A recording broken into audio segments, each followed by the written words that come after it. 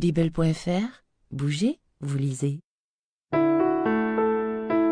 La collection gants présente Comment se faire des amis et influencer les autres de Dale Carnegie, traduit d'américain par Jean-Louis Morgan.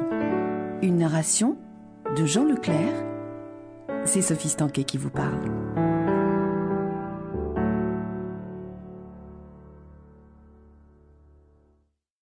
Première partie. Quelques principes fondamentaux pour bien gérer nos relations avec autrui. Principe numéro 1. On n'attrape pas les mouches avec du vinaigre. La plus fantastique des chasses à l'homme que la ville de New York ait jamais connue a atteint son paroxysme le 7 mai 1931. Tugon Crowley, le tueur, le bandit qui ne buvait ni ne fumait, se trouvait aux abois après avoir été poursuivi pendant plusieurs semaines alors qu'il s'était réfugié dans l'appartement de sa petite amie situé sur la West End Avenue. 150 policiers et inspecteurs de police faisaient le siège de sa planque située à l'étage supérieur de l'immeuble. Accroupi derrière un fauteuil au rembourrage épais, Crowley arrosait les policiers d'un feu nourri. Une bonne dizaine de milliers de personnes en proie à la plus grande excitation assistaient à la bataille. Rien de tel ne s'était jamais produit dans les rues de la Grosse Pomme. Lorsque Crowley fut finalement capturé, le commissaire divisionnaire E.P. Mulroney a déclaré que le Desperado était un des criminels les plus dangereux de l'histoire de la ville. Il tue pour un oui ou pour un non, a ajouté le policier.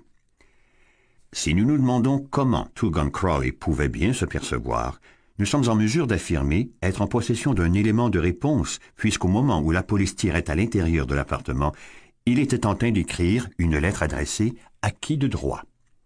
Le sang qui coulait d'une de ses blessures a laissé une trace rouge sur le papier. Crowley disait dans sa lettre Un cœur là, mais compatissant, bat sous ma chemise. Un cœur qui ne peut faire de mal à qui que ce soit. Peu de temps avant cela, Crowley se trouvait dans son auto en train de lutiner sa petite amie sur une route secondaire de Long Island. Un agent de police s'est soudainement approché de la portière et lui a demandé Montrez-moi votre permis de conduire. Crowley, sans dire un mot, a dégainé son pistolet et a descendu l'agent d'un tir en rafale. Au moment où le policier est tombé sur le sol pour y mourir, Crowley a bondi de l'auto pour s'emparer du revolver de ce dernier et a atteint le corps prostré d'une dernière balle. Pourtant, nous sommes bien en présence du même individu qui déclarait que sous sa chemise battait un cœur las, mais compatissant, un cœur qui ne pouvait faire de mal à qui que ce soit. Crowley a été condamné à la chaise électrique. Lorsqu'il est arrivé au couloir de la mort de la prison de Sing Sing, vous imaginez-vous que ses derniers mots ont été Voilà ce que j'ai mérité pour avoir tué des gens? Certainement pas. Il a déclaré Voilà comment on m'a remercié pour m'être tout bonnement défendu. Tout cela pour vous faire remarquer que Tugon Crowley n'était aucunement taraudé par quelque sentiment de culpabilité. Tugon Crowley ainsi que les hommes et les femmes qui se trouvent derrière les barreaux pensent mordicus qu'ils ne sont nullement responsables de ce qui leur est arrivé. Qu'en est-il des personnes avec lesquelles vous et moi maintenons des relations? John Wanamaker, le fondateur des magasins du même nom, nous a confessé un jour J'ai appris, il y a trente ans, qu'il est stupide de réprimander. J'éprouve suffisamment de difficultés pour arriver à dépasser mes propres limites. Je n'ai pas besoin de me tracasser en me demandant pourquoi Dieu n'a pas jugé bon de partager de façon équitable le don de l'intelligence entre les personnes. La critique est inutile car la personne critiquée se met alors sur le qui-vive, ce qui la pousse ensuite à se justifier. La critique est dangereuse car elle blesse l'orgueil sacré des individus. Elle heurte l'idée qu'ils ont de leur importance et fait naître du ressentiment.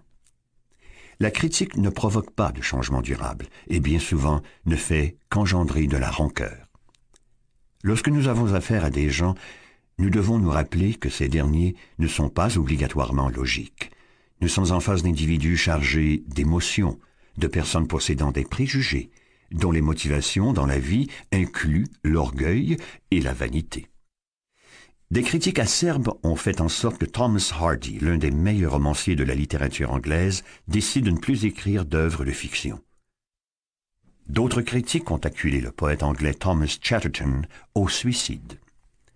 Benjamin Franklin, qui dans sa jeunesse faisait preuve d'un total manque de tact, est devenu si diplomate, si adroit dans sa manière de s'y prendre avec les gens, qu'il fut nommé ambassadeur des États-Unis en France.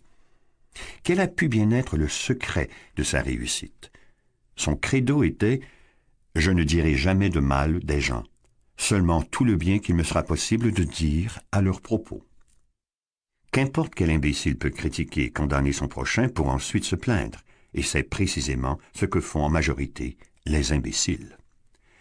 Carlyle a déclaré que la grandeur d'un grand homme se reconnaît par la façon qu'il a de traiter les gens de conditions modestes. Essayons donc de comprendre les gens au lieu de les condamner. Essayons donc de chercher le pourquoi de leurs agissements. Cela s'avère beaucoup plus profitable et intéressant que les critiques, tout en regardant la solidarité, la tolérance et la bonté. Connaître tout revient à pardonner tout. Principe numéro 1. Ne critiquez pas. Ne condamnez pas. Ne vous plaignez pas.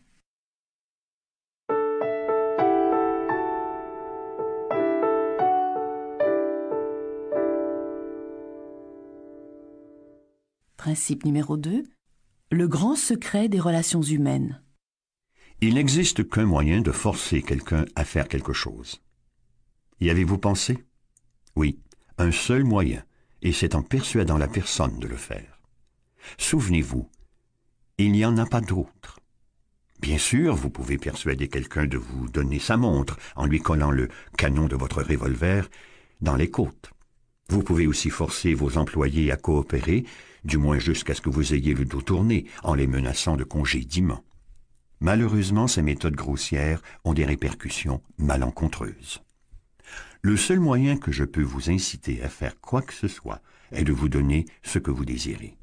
Mais que désirez-vous? Au juste John Dewey, un des grands philosophes américains, a déclaré que le désir d'être important constituait l'élément motivateur principal de tout individu. Rappelez-vous bien de cette phrase, le désir d'être important. Voici la liste des besoins fondamentaux de chacun d'entre nous. La santé et la conservation de la vie.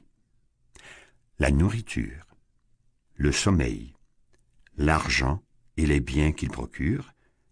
La vie dans l'au-delà. Une vie sexuelle gratifiante. Le bien-être de nos enfants. Le sentiment de notre importance. Ces besoins sont en général tous comblés, sauf un. En effet, il en existe un, presque aussi impérieux que celui de nourriture ou de sommeil, qui n'est que très rarement comblé. Il s'agit de ce que Freud a nommé le besoin d'être quelqu'un, et Dewey le besoin d'être important. Ce besoin d'un sentiment d'importance est une des principales différences qui existent entre les hommes et les animaux. C'est ce besoin d'importance qui a poussé Dickens à écrire ses romans impérissables et qui a inspiré Sir Christopher Wren à orchestrer ses symphonies en pierre. Ce même besoin a poussé Rockefeller à accumuler des millions, qu'il n'a d'ailleurs jamais pu dépenser, et a poussé la famille la plus riche de votre voisinage à faire construire une maison bien trop vaste pour elle. C'est encore ce même besoin qui vous pousse à vouloir porter les vêtements dernier cri, à être au volant des voitures les plus inutilement coûteuses et à vous vanter de l'intelligence de vos enfants. Si jamais vous me racontez ce qui vous procure le sentiment d'être important, je vous dirai qui vous êtes.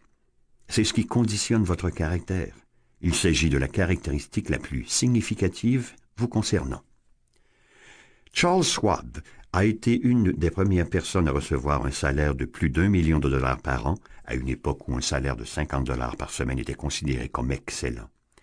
Il avait été choisi par Andrew Carnegie pour devenir le premier président de la Société métallurgique qui venait d'être fondée aux États-Unis en 1921, alors que Schwab n'était âgé que de 38 ans. Quelle pouvait donc être la raison qui a motivé Andrew Carnegie à verser un salaire d'un million de dollars par an, soit plus de trois mille dollars par jour, à Charles Schwab? Était-ce parce que Schwab était un génie? Non. Ou encore parce qu'il connaissait mieux la métallurgie que quiconque? Soutenir cela serait une absurdité. Schwab a déclaré qu'il recevait ce salaire imposant en grande partie à cause de sa très grande faculté à établir des relations autour de lui. Je lui ai demandé comment il y parvenait. Je vais donc vous révéler son secret en utilisant ses propres termes, des paroles qui peuvent transformer votre vie et la mienne si nous le suivons à la lettre. Schwab expliquait Je considère que la faculté que j'ai d'enthousiasmer les gens qui m'entourent constitue mon atout le plus important. C'est en les encourageant et en les appréciant que l'on arrive à obtenir le meilleur d'eux-mêmes. Il n'existe rien de pire que les critiques de ses supérieurs pour anéantir l'ambition de quelqu'un. Voilà pourquoi je ne critique jamais personne. À mon avis, la motivation doit être le premier facteur qui pousse les gens à travailler. C'est pourquoi je tiens tellement à féliciter les personnes et que je déteste les critiquer. Lorsque j'aime quelque chose, je me montre enthousiaste dans mes approbations et ne ménage pas mes compliments. Un des secrets du succès du premier John D. Rockefeller dans sa manière de gérer les hommes a été la façon dont il leur manifestait sincèrement son approbation. John D., par exemple, aurait très bien pu critiquer un de ses premiers partenaires, Edward T. Bedford, lorsqu'il a fait perdre un million de dollars à l'entreprise en faisant de mauvaises acquisitions en Amérique du Sud. Il savait toutefois que Bedford avait fait de son mieux, et l'incident fut clos. Rockefeller a toutefois trouvé quelque chose pour laquelle Bedford méritait des remerciements. Il l'a félicité parce que ce dernier avait été capable de sauvegarder 60% du capital investi. C'est magnifique, a-t-il dit. Nous n'arrivons pas toujours à faire aussi bien que cela chez nous. Une étude a été entreprise il y a quelques années à propos des femmes qui abandonnent le domicile conjugal. Quel est, à votre avis, le principal motif qui pousse ces dames à agir ainsi? Il s'agit du manque d'appréciation. Et je parie tout ce que vous voulez que ce même motif est également celui auquel on peut imputer l'abandon du domicile conjugal par les hommes. Nous tenons tellement souvent nos époux et nos épouses pour acquis que nous ne leur faisons jamais savoir à quel point nous les apprécions. La faculté de montrer son appréciation est une des vertus les plus négligées de notre monde actuel. Pour une raison ou pour une autre, nous négligeons de féliciter notre fils ou notre fille lorsque il ou elle revient de l'école avec de bonnes notes, et nous ne les félicitons pas non plus lorsqu'ils arrivent pour la première fois à confectionner un gâteau ou à construire une cabane à oiseaux. Rien ne fait plus plaisir à un enfant que de savoir que ses parents s'intéressent à ce qu'il fait et qu'il est apprécié. Faites en sorte que votre routine journalière soit parsemée de petits moments amicaux où brille la gratitude. Vous serez surpris de voir que de telles étincelles engendreront vite des flammes d'amitié qui vous réchaufferont lors de votre future visite. Les gens ne s'améliorent pas lorsqu'on leur adresse des paroles blessantes. Il n'est jamais nécessaire de prononcer de tels discours. Emerson a dit un jour chaque personne que je rencontre est mon supérieur d'une façon ou d'une autre, car elle a quelque chose à m'apprendre. Si cette phrase était vraie pour Emerson, pourquoi ne serait-elle pas mille fois plus pour vous et moi? Il est temps que nous nous arrêtions de penser à ce que nous avons accompli ainsi qu'à nos désirs. Essayons de voir quels sont les bons côtés de la personne qui nous fait face. Ne nous embarrassons pas de paroles flatteuses. Il suffit de donner une appréciation honnête et sincère. Le leitmotiv pourrait être N'hésitons pas à montrer notre appréciation et ne ménageons pas nos compliments sincères.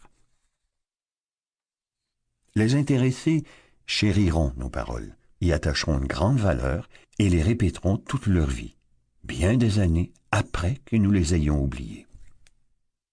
Principe numéro 2. N'hésitez pas à faire des compliments honnêtes et sincères.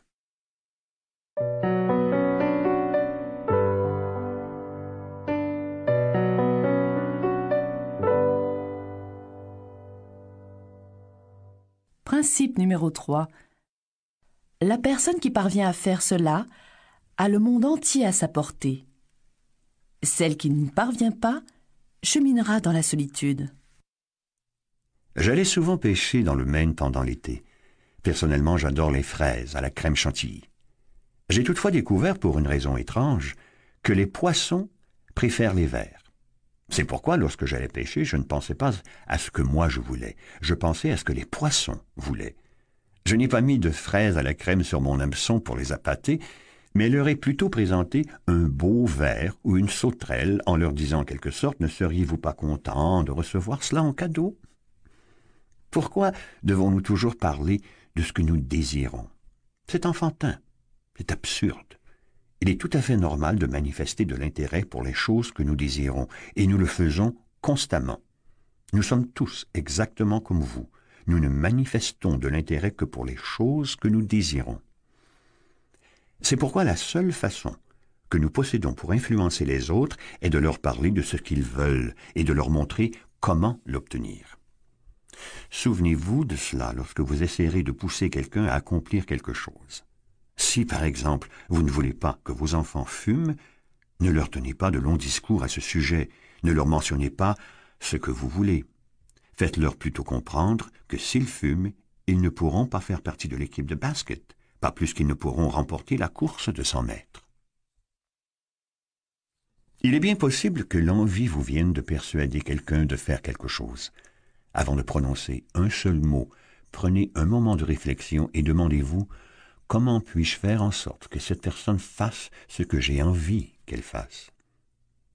Cette question a le mérite de nous donner un répit, au lieu de nous précipiter imprudemment dans une discussion au cours de laquelle nous ferons futilement étalage de nos désirs. À une certaine époque, je louais pendant vingt soirées la salle de bal d'un grand hôtel new-yorkais lors de chaque saison pour y tenir une soirée de conférence.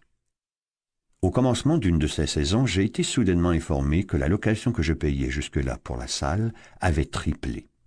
De plus, j'ai appris cette nouvelle après que les tickets aient été imprimés et tous les avis publiés. Tout naturellement, je n'avais aucune envie de payer cette augmentation, mais à quoi bon préciser mes désirs au directeur de l'hôtel? Il ne pouvait être intéressé que parce que ce qu'il voulait. C'est pourquoi, environ deux jours plus tard, je suis allé le rencontrer. Je me suis montré un peu choqué lorsque j'ai reçu votre lettre, lui ai-je dit d'emblée. Toutefois, je ne vous en veux pas du tout. J'aurais sans doute écrit une lettre similaire si je m'étais trouvé dans votre position. Votre responsabilité en tant que directeur est de faire en sorte que l'hôtel enregistre un maximum de profit. Si jamais vous n'assumiez pas cette responsabilité, il est bien probable que vous perdriez votre emploi. Maintenant, si vous le voulez bien, prenons une feuille de papier pour y écrire des avantages et les inconvénients que vous risquez de courir si jamais vous insistez dans votre désir d'augmenter mon loyer. J'ai ensuite pris un papier à en-tête et tracé une ligne verticale en son milieu. En haut d'une des colonnes, j'ai écrit avantage et en haut de l'autre, inconvénient. Sous la colonne avantage, j'ai écrit ces mots. Salle de bal disponible. Je lui ai expliqué. Vous aurez l'avantage d'avoir la disponibilité de votre salle afin de la louer pour des bals et des conventions. Il s'agit là d'un gain substantiel car cela vous rapportera beaucoup plus que ce que vous recevez en échange de la location de cette salle pour quelques conférences. Si jamais je réservais votre salle de bal pendant vingt soirs au cours de la même saison, il est certain que cela signifierait pour votre hôtel un manque à gagner. Examinons maintenant quels sont les inconvénients. En premier lieu, si je ne loue pas la salle, vos revenus vont diminuer à la place d'augmenter. En fait, vos revenus vont s'annuler parce que je ne pourrai pas payer le loyer que vous exigez de moi. Je serai donc obligé d'aller donner mes conférences ailleurs. Vous subirez également un autre désavantage. En effet, ces conférences attirent beaucoup plus de gens cultivés et de haut niveau qui par conséquent auront la possibilité de connaître votre hôtel. Cela représente des sommes importantes en publicité dans les journaux, n'est-ce pas? Il est certain que si vous dépensiez 5000 dollars en publicité dans les quotidiens, vous ne réussiriez pas à attirer autant de personnes dans votre hôtel que moi avec mes conférences. Cela ne représente-t-il pas une certaine valeur aux yeux de votre établissement? J'ai noté ces deux inconvénients dans la colonne appropriée au moment où je parlais, et j'ai tendu la feuille de papier au directeur, en lui disant avant de me donner votre réponse définitive, j'aimerais que vous examiniez attentivement les avantages comme les désavantages que représente le fait de donner mes conférences dans votre hôtel. J'ai reçu une lettre le lendemain matin dans laquelle on m'informait que mon loyer ne serait augmenté que de 50% au lieu de 300% prévu.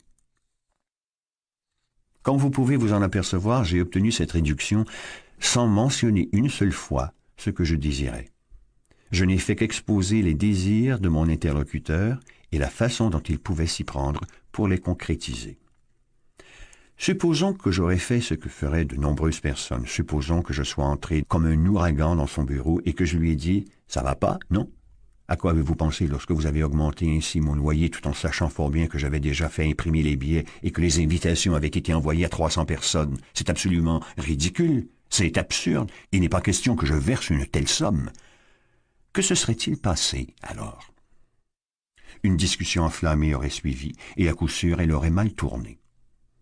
Même si j'avais réussi à le convaincre qu'il avait tort, son orgueil aurait fait en sorte qu'il lui aurait été impossible de se rétracter et de céder. Voici donc un des meilleurs conseils que l'on puisse donner concernant les relations humaines. Henry Ford a déclaré que l'un des grands succès de la réussite se trouve dans la capacité à comprendre le point de vue de son interlocuteur et à voir les choses à la fois de son point de vue comme d'une autre. Le monde est rempli de personnes égoïstes qui veulent tout accaparer. C'est pourquoi la rare personne qui fait preuve de générosité et essaie de rendre service à son prochain possède un avantage énorme car elle n'a que très peu de concurrents. Si jamais vous ne retenez qu'une seule chose après avoir écouté cela, c'est-à-dire réfléchir un peu plus en tenant compte du point de vue des autres et en envisageant la situation à leur façon, il est possible que cette chose puisse devenir la clé de voûte de votre carrière. Lorsque l'on prend le point de vue de son interlocuteur et que l'on éveille chez lui un désir, cela ne revient pas à le manipuler pour qu'il accomplisse quelque chose qui vous soit bénéfique tout en étant à son détriment. Dans une négociation, chacun doit remporter une victoire. Un père de famille, un certain Katie Dutchman, ingénieur en téléphonie de son état, suivait l'un de nos cours. Il nous raconta comment il n'arrivait pas à faire avaler son petit déjeuner à sa fille de trois ans. Il avait essayé sans obtenir de résultat tous les moyens possibles, punition, supplication, promesse. Les parents de cette petite fille se sont alors demandé comment faire en sorte que ce soit elle qui décide de manger. L'enfant adorait imiter sa mère, se sentir grande. C'est ainsi qu'un beau matin, ils l'installèrent sur une chaise et lui confièrent la tâche de préparer les céréales. Au moment psychologique approprié, son père est entré dans la cuisine alors qu'elle remuait le contenu de la casserole de flocons d'avoine, et elle a dit « Regarde, papa, c'est moi qui prépare les céréales du petit déjeuner ce matin. » Elle s'est servie deux fois sans que quiconque ait eu besoin de la forcer parce qu'elle avait manifesté de l'intérêt pour la préparation du déjeuner. Elle avait eu l'impression d'être importante. Elle avait découvert une façon de s'exprimer en préparant le petit déjeuner. William Winter a déjà fait la remarque suivante. Pourquoi exprimer son désir est une nécessité prépondérante de la nature humaine. Pourquoi ne pourrions-nous donc pas adapter ce trait psychologique aux relations personnelles? Pourquoi lorsque nous avons une idée géniale, ne pourrions-nous pas faire en sorte que les autres expriment cette idée et aient l'impression d'en être les auteurs plutôt que nous? En agissant ici, ils se les approprieront et se trouveront dans la position de la petite fille qui a repris les céréales. Rappelez-vous bien ceci. Il faut en premier susciter le désir chez l'autre. Ceux qui arrivent à obtenir ce résultat ont le monde entier à leurs pieds. Ceux qui n'y arrivent pas connaîtront la solitude. Principe numéro 3. Susciter chez autrui le désir d'agir.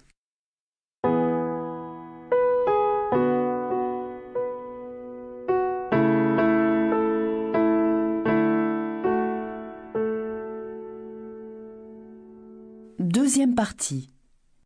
Six manières de gagner la sympathie d'autrui. Principe numéro 1. Faites ceci et vous serez les bienvenus partout. Pourquoi écoutons-nous ce texte pour découvrir comment gagner la sympathie d'autrui? Pourquoi tout simplement ne pas étudier les techniques utilisées par l'être qui a su se faire le plus d'amis au monde? Qui est-il? Demanderez-vous. Vous pourriez bien le rencontrer demain matin en faisant votre promenade. Alors que vous ne serez qu'à quelques mètres de lui, il va commencer par remuer la queue. Si jamais vous vous arrêtez pour le caresser, il fera certainement tout ce qu'il pourra pour vous témoigner son affection. Et vous saurez que cette affection n'est pas provoquée par des motifs cachés. Il ne veut pas vous vendre de l'immobilier et il n'a aucunement l'intention de vous demander en mariage. Avez-vous déjà pensé au fait que le chien est le seul animal qui n'a pas besoin de travailler pour vivre? Une poule doit pondre des œufs, une vache produire du lait et un canari chanter. Le chien, quant à lui, gagne sa vie en ne vous donnant que de l'amour. Lorsque j'avais cinq ans, mon père a acheté un petit chien au poil jaune pour la somme de cinquante cents. Cet animal a fait le bonheur de mon enfance. Tipi a été mon compagnon constant pendant cinq ans. Et puis, lors d'une nuit tragique que je ne pourrai jamais oublier, Tipi a été tué par la foudre alors qu'il se trouvait à quelques mètres de moi. Sa mort a été la tragédie de mes jeunes années. Tipi, tu n'as jamais lu de livre de psychologie. Tu n'en avais pas besoin. Tu savais grâce à ton instinct que tu pouvais te faire plus d'amis en deux mois que la majorité des hommes s'en font en deux ans, tout simplement en t'intéressant aux autres humains qui t'entouraient. Je connais toutefois des personnes, et vous aussi devez en connaître aussi, qui gâchent leur vie en essayant toutes les manières possibles de faire en sorte que les autres s'intéressent à eux. Il est bien évident que cela ne peut pas fonctionner ainsi. Les gens ne sont pas intéressés par vous. Matin, midi et soir, ils ne sont intéressés que par leur propre personne. Pour découvrir quel était le mot le plus souvent utilisé par les usagers, la compagnie de téléphone de New York a produit une étude détaillée concernant les conversations téléphoniques. Vous avez deviné, il s'agit du pronom personnel je. Au cours de 500 conversations téléphoniques, il a été utilisé plus de 3900 fois. Je, je, je, je. Il vous suffit de poursuivre. Lorsque vous examinez une photographie de groupe dans laquelle vous vous trouvez, que regardez-vous en premier? Tant que nous nous limiterons à essayer de faire bonne impression sur les autres afin qu'ils s'intéressent à nous, il nous sera impossible de nous faire des amis sincères. Non, ce n'est pas de cette manière que l'on se fait des amis, de vrais amis. Si vraiment nous voulons nous faire de vrais amis, nous devons tout mettre en œuvre pour accomplir les choses qui leur sont agréables, des gestes qui exigent du temps, de l'énergie, de la générosité et de la prévenance. Pendant de nombreuses années, j'ai mis un point d'honneur à découvrir les dates d'anniversaire de mes amis. Comment l'ai-je fait Bien que je ne croie absolument pas à l'astrologie, j'ai commencé par demander à l'autre personne si elle croyait que notre date de naissance pouvait avoir une relation avec notre caractère et notre tempérament. Au commencement de chaque année, j'écrivais toutes ces dates dans mon calendrier pour qu'elles puissent automatiquement être portées à mon attention. Lorsqu'arrivait le jour anniversaire d'une de ces personnes, elle pouvait être certaine de recevoir de moi soit un message, soit une carte. Cela avait tout un impact. J'étais bien souvent le seul être sur Terre à me rappeler son anniversaire. Pour se faire des amis, il faut accueillir les gens avec enthousiasme et de façon vivante. Utilisez la même psychologie lorsque quelqu'un vous téléphone. Saluez votre interlocuteur ou votre interlocutrice en utilisant un ton de voix qui lui montre que vous êtes heureux de lui parler. De nombreuses sociétés offrent des programmes de formation à leurs téléphonistes pour leur montrer quel ton de voix doit être utilisé, un ton où transparaissent l'intérêt et l'enthousiasme. La personne qui appelle se rend alors compte que la société en question s'occupe d'elle. Souvenons-nous de cela lorsque nous répondons Allô. C'est quand on fait preuve d'un intérêt sincère envers les autres que vous pourrez vous faire des amis, et de plus, vous verrez que vos clients seront fidèles à votre société. Si vous voulez que les autres vous aiment, si vous désirez développer de véritables amitiés et vous aider par la même occasion, gardez bien ce principe à l'esprit. Principe numéro 1. Intéressez-vous sincèrement aux autres.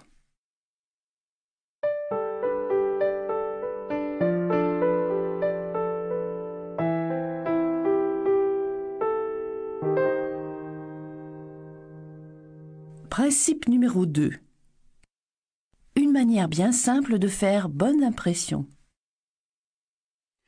Une action vaut mille mots et un sourire revient à dire je vous aime bien, vous me rendez heureux, je suis content de vous voir.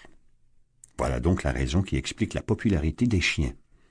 Ils sont tellement heureux de nous voir qu'ils en perdent leur poids, à force de sauter lorsque nous les rencontrons. Il est donc tout naturel que nous aussi soyons heureux de les voir. Le professeur James V. McConnell un psychologue de l'Université du Michigan, nous a dit ce qu'il pensait des sourires. Les individus qui sourient, a-t-il dit, ont tendance à mieux enseigner, mieux vendre, mieux se débrouiller en général et à avoir des enfants plus heureux. Un sourire nous en dit beaucoup plus sur une personne qu'un froncement de sourcils. C'est pourquoi tout encouragement s'avère un enseignement beaucoup plus profitable que n'importe quelle punition. La directrice des ressources humaines d'un important grand magasin de New York m'a raconté un jour que s'il avait un sourire avenant, elle préférait engager un vendeur qui n'avait pas terminé son cours secondaire plutôt qu'une personne nantie d'un diplôme de troisième cycle mais affichant une mine sinistre. L'effet produit par un sourire est très puissant, même lorsqu'on ne le voit pas. Les compagnies téléphoniques américaines et canadiennes possèdent une formation nommée Téléforce, offerte aux employés qui utilisent le téléphone pour vendre leurs services ou leurs produits. Cette formation suggère de sourire lorsqu'on parle dans l'appareil. La voix retransmet alors ce sourire. Le président directeur général d'une des plus importantes sociétés de caoutchouc américaines m'a raconté que d'après ses observations, les individus n'arrivent à rien faire de bon à moins de prendre plaisir à accomplir leurs tâches. Ce grand industriel ne croit pas beaucoup au vieil adage voulant que seul un travail assidu puisse garantir la réussite qui va nous ouvrir toutes les portes de nos ambitions. Je connais des gens qui ont réussi parce qu'ils éprouvaient énormément de plaisir à diriger leur société, a-t-il expliqué. Par la suite, je les ai revus, mais ils avaient changé depuis que le plaisir des débuts s'était transformé en une opération routinière. Leur affaire avait périclité, ils avaient perdu toute joie au travail et leur entreprise a fini par fermer ses portes. Vous devez absolument faire en sorte que vous éprouviez un véritable plaisir à rencontrer les autres si vous désirez qu'ils éprouvent la réciproque en vous voyant. J'ai demandé des milliers d'hommes d'affaires de sourire à quelqu'un au moins une fois par heure, pendant toutes les heures de la semaine, et de venir ensuite à nos cours pour nous parler des résultats obtenus. Et quels ont été ces résultats? Voyons. Voici une lettre de William B. Steinhardt, un agent de change de New York. Son cas n'est pas unique. Il est en fait un cas parmi des centaines d'autres. Lorsque vous m'avez demandé de parler de belles choses que l'on peut vivre en souriant, je me suis dit que j'allais tenter l'expérience pendant une semaine. Donc, le jour suivant, j'ai examiné mon visage lugubre dans le miroir pendant que je me coiffais et je me suis dit, Bill, tu vas éliminer cet air renfrogné de ta face de grincheux ce matin. Tu vas sourire et tu vas commencer par sourire tout de suite. Lorsque je me suis assis à la table du petit déjeuner, j'ai salué ma femme en lui disant Bonjour, ma chérie. Et je lui ai souri en prononçant ces paroles. Vous m'aviez prévenu qu'elle pourrait être surprise. Eh bien, vous avez totalement sous-estimé sa réaction. Elle a été abasourdie. Elle a eu un choc. Je lui ai alors dit qu'elle devait s'attendre à la même chose à l'avenir. Et j'ai continué à procéder de la même manière tous les matins. Depuis les deux mois où j'ai commencé à sourire, mon changement d'attitude a provoqué beaucoup plus de moments heureux dans notre foyer que nous en avions connus au cours de l'année précédente. Lorsque je pars au bureau, je salue le liftier de notre immeuble en lui souriant lorsque je lui dis bonjour. Lorsque je suis à l'étage de la bourse, je souris à des personnes qui ne m'avaient jamais vu sourire jusque-là. Je me suis vite rendu compte que tout le monde me souriait en retour. J'accueille toutes les personnes qui entrent dans mon bureau pour formuler une plainte en leur faisant un grand sourire. J'ai également éliminé toute forme de critique de mon système. Je félicite et je me montre reconnaissant au lieu de condamner. J'ai arrêté de parler de ce que je voulais. J'essaie maintenant de découvrir le point de vue des autres. Toutes ces choses ont véritablement révolutionné ma vie. Je suis un tout autre homme, un homme plus heureux, plus riche en amitié et en bonheur. Et ce sont, après tout, les seules choses qui comptent. Les anciens Chinois étaient des sages, et dans tous les sens du terme. Ils possédaient un proverbe que vous et moi devrions coller à l'intérieur de nos vêtements. Le voici. Un homme qui ne sourit pas ne devrait jamais tenir boutique. Votre sourire est le messager de votre bonne volonté. Votre sourire illumine la vie de tous ceux qui le perçoivent. Principe numéro 2. Souriez.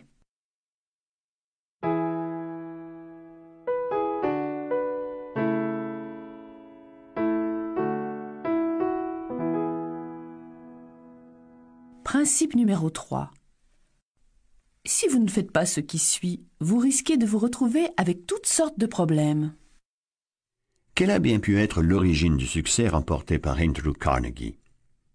Il a été surnommé le roi de l'acier, et pourtant il ne connaissait que très peu de choses concernant la métallurgie. Les centaines de personnes qui travaillaient pour lui connaissaient beaucoup mieux l'acier que lui. Sa grande compétence était de savoir gérer les personnes, et c'est ce qui a fait de lui un homme riche. Il a développé dès sa plus tendre enfance un sens très aigu de l'organisation, des qualités de leader. À l'âge de dix ans, il a découvert l'importance énorme que les individus accordent à leur nom, et il a utilisé cette découverte pour obtenir la coopération de ses petits camarades. Voici un exemple. Lorsqu'il était encore un petit garçon qu'il vivait en Écosse, il avait une lapine qui est rapidement devenue la mère d'une nichée de lapereaux qu'il fallait nourrir. Or, il n'avait rien à leur donner à manger. Il a eu une idée géniale. Il a dit à tous les enfants de son quartier que s'il l'aidait à ramasser du trèfle et des pissenlits pour alimenter les petits lapins, il donnerait à ces derniers le nom de tous ses amis en leur honneur. Le plan a fonctionné comme par magie et Carnegie ne l'a jamais oublié. Bien des années plus tard, il gagnait des millions en utilisant la même psychologie pour ses affaires. Par exemple, désirant vendre éventuellement des rails à la Pennsylvania Railroad, dont J. Edgar Thompson était le président à l'époque, Andrew Carnegie a fait construire une immense usine métallurgique qu'il a baptisée la Edgar Thompson Steel Works. Lorsque la Pennsylvania Railroad a eu besoin de rails, devinez chez qui elle est allée s'approvisionner. La grande majorité des gens ne se souviennent pas des noms des personnes qu'ils rencontrent pour la simple raison qu'ils ne prennent pas le temps ni l'énergie nécessaires pour les répéter et se les fixer en mémoire. Ils fournissent toutes sortes d'excuses pour cela, prétendent qu'ils sont trop occupés. La moitié du temps, lorsqu'un individu nous est présenté, nous lui parlons pendant quelques instants, et lorsque nous le quittons, nous ne nous souvenons déjà plus de son nom. Une des premières leçons qu'apprend tout politicien en devenir est de pouvoir se souvenir du nom de ceux qui vont voter pour lui. Oublier leur nom revient à tomber dans l'oubli. La capacité de se souvenir des noms des personnes est presque aussi importante dans les affaires et dans les contrats sociaux qu'en politique. Napoléon III, le neveu du grand Napoléon, se vantait de pouvoir se souvenir de tous les noms des gens qu'il rencontrait malgré ses nombreuses obligations. Quelle était sa technique? Bien simple. Lorsqu'il n'entendait pas bien clairement le nom de la personne, il disait ⁇ Je suis désolé, je n'ai pas bien compris votre nom ⁇ Et lorsqu'il s'agissait d'un nom peu habituel, il disait ⁇ Comment l'appelez-vous ?⁇ Il prenait la peine, au cours de la conversation, de répéter plusieurs fois le nom en question et essayait de l'associer dans son esprit avec les traits de son interlocuteur, à son expression et à son apparence en général. Lorsqu'il s'agissait d'une personne importante, Napoléon III allait alors plus loin.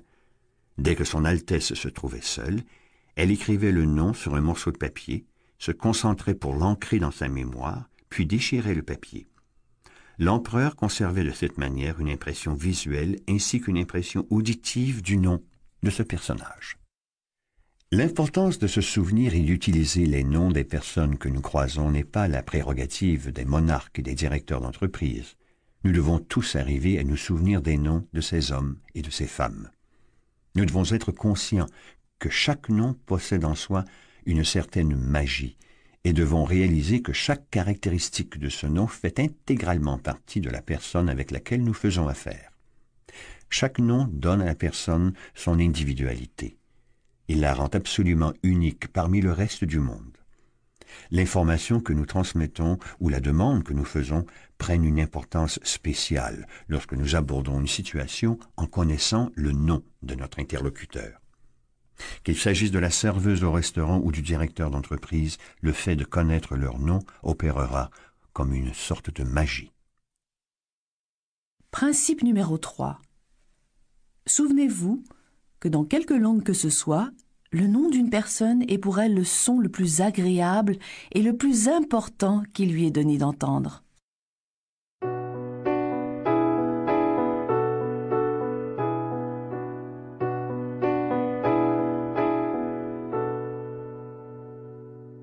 Principe numéro 4. Une façon facile d'être un brillant causeur ou une brillante causeuse. Il y a un certain temps, je prenais part à une réunion de bridge. Personnellement, je ne joue pas au bridge, Et il y avait également là une femme qui ne jouait pas non plus à ce jeu. Venant de découvrir que j'arrivais d'Europe, c'est alors qu'elle s'exclama Oh, monsieur Carnegie, j'ai vraiment envie que vous me décriviez tous les endroits merveilleux que vous avez visités et les paysages que vous avez vus. Nous nous sommes donc assis sur le divan, et c'est à ce moment précis qu'elle m'a fait remarquer qu'elle et son mari venaient à peine de rentrer d'un voyage en Afrique. L'Afrique, me suis-je exclamé, comme c'est intéressant. J'ai toujours voulu m'y rendre sans jamais y parvenir, à part une escale de vingt-quatre heures que j'ai faite à Alger.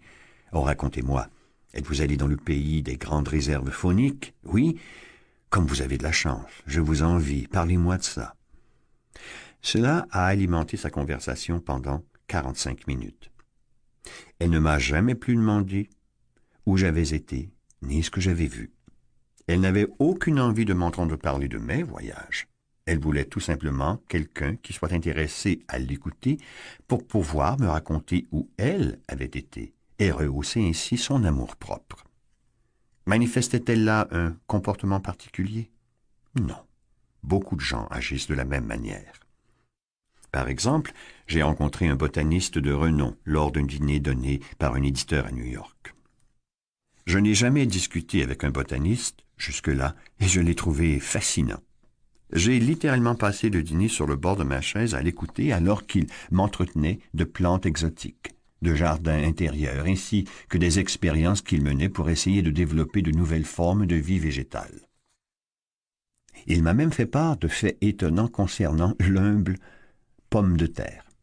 Je possédais alors un tout petit jardin intérieur, et il s'est montré assez gentil pour me donner quelques conseils qui allaient pouvoir m'aider à résoudre certains petits problèmes. Comme je l'ai mentionné, nous nous trouvions à un dîner. Il devait bien y avoir une bonne douzaine d'invités ce qui ne m'a pas empêché de transgresser les règles de savoir-vivre en ne parlant à personne d'autre qu'à cet érudit pendant des heures. Minuit a sonné, j'ai donc dit bonsoir à tous les invités, je suis parti. Le botaniste s'est alors retourné vers notre hôte et m'a complimenté plusieurs fois. Il a déclaré que j'avais une personnalité très stimulante, s'est répondu en louange dithyrambique à mon égard et a terminé en disant que j'avais une conversation des plus intéressantes un causeur des plus intéressants? Comment cela? Je n'avais prononcé que quelques paroles. Si je l'avais désiré, j'aurais pu tout aussi bien ne rien dire sans avoir besoin de changer le sujet, car je ne connaissais pas plus la botanique que je connais l'anatomie du pingouin. Toutefois, j'avais fait quelque chose. Je l'avais écouté en y mettant toute mon attention. Je l'avais écouté parce que le sujet m'intéressait véritablement, et il s'en est aperçu. J'avais fait beaucoup plus que de lui accorder une attention intense. Je me suis montré enthousiaste dans mon adhésion à ses commentaires et généreux dans les compliments que je avais adressés. Je lui ai fait remarquer que ses propos m'avaient fort intéressé et que par la même occasion j'avais accumulé de nouvelles connaissances, et c'était strictement exact. Je lui ai dit aussi que j'aurais aimé posséder son savoir, ce qui était également vrai. Et c'est donc pour cette raison qu'il me considérait comme un fin causeur, alors qu'en réalité je n'avais fait que l'écouter et que je l'avais encouragé à parler. Il est tout aussi important d'être un bon auditeur dans notre vie familiale que dans notre vie professionnelle. Millie Esposito, de Crompton-on-Hudson, dans l'État de New York, portait une attention tout à fait spéciale lorsqu'un de ses enfants désirait lui parler. Un soir où elle était assise dans la cuisine avec son fils Robert, alors que celui-ci venait de s'entretenir brièvement avec elle au sujet de quelque chose qui lui était venu à l'esprit, il lui a dit Maman, je sais que tu m'aimes beaucoup.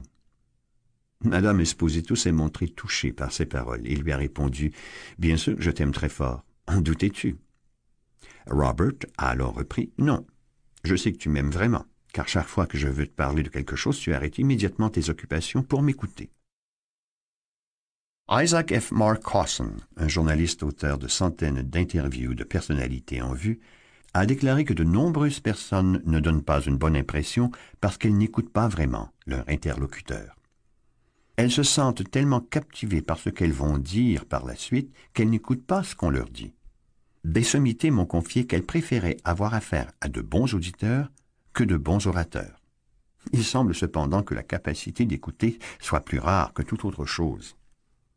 Ce ne sont pas seulement les célébrités qui aiment avoir affaire à un bon auditeur, les gens ordinaires aussi.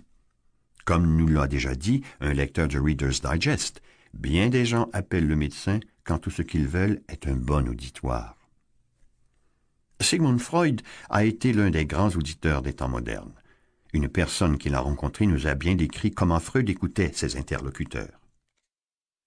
Cela m'a tellement frappé que je ne pourrai jamais l'oublier, nous a-t-elle expliqué. Il possédait des qualités que je n'ai jamais rencontrées chez un autre homme. Je n'ai jamais vu qui que ce soit possédant un tel pouvoir de concentration. Il ne s'agissait pas là de quelqu'un faisant appel aux phénomènes paranormaux. Son regard était plein de bonté et génial. Il parlait à voix basse et avec gentillesse. Toutefois, l'attention dont il a fait part à mon égard, sa façon d'apprécier ce que je lui disais, même si j'éprouvais de la peine à m'exprimer, était extraordinaire. Vous ne pouvez pas vous imaginer ce que cela peut représenter lorsqu'on est écouté de cette manière. Si jamais votre ambition est de faire fuir les personnes, de faire en sorte qu'elles se moquent de vous lorsque vous avez le dos tourné, ou bien qu'elles vous méprisent tout simplement, voici la recette.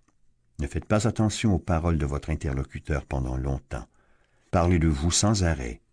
Si jamais vous pensez à quelque chose pendant que l'autre personne parle, n'attendez pas qu'elle ait fini, interrompez-la au milieu de sa phrase. Connaissez-vous des gens qui agissent ainsi? Moi, j'en connais malheureusement, et une chose extrêmement étonnante vient du fait que certaines d'entre elles sont très connues. Il s'agit de raseurs qui ne font que parler d'eux, des fâcheux, intoxiqués par leur hypertrophie du moi, imbus de leur importance. Les individus qui ne parlent que d'eux ne pensent qu'à leur petite personne. C'est du moins l'avis du docteur Nicholas Murray Butler, qui a été pendant longtemps le président de l'Université Columbia. Ce sont des gens mal élevés, irrécurables, dénués d'éducation, peu importe leur niveau de connaissance, soutient-il. Donc, si vous désirez être un bon causeur, écoutez les autres avec attention. Pour être quelqu'un d'intéressant, il faut apprendre à s'intéresser aux autres. Posez des questions auxquelles votre interlocuteur aimera répondre. Encouragez-le à parler de lui et de ce qu'il a accompli. Souvenez-vous que les personnes auxquelles vous vous adressez sont cent fois plus intéressées par elles-mêmes, par leurs désirs et leurs problèmes, qu'elles ne le sont par vous et par les vôtres. Une rage de temps prend beaucoup plus d'importance aux yeux d'un individu que les problèmes de famine dans le monde, qui tuent pourtant des millions de personnes. Réfléchissez bien à tout cela la prochaine fois que vous entamerez une conversation avec quelqu'un. Principe numéro 4. Soyez bon auditeur. Encouragez les autres à parler d'eux.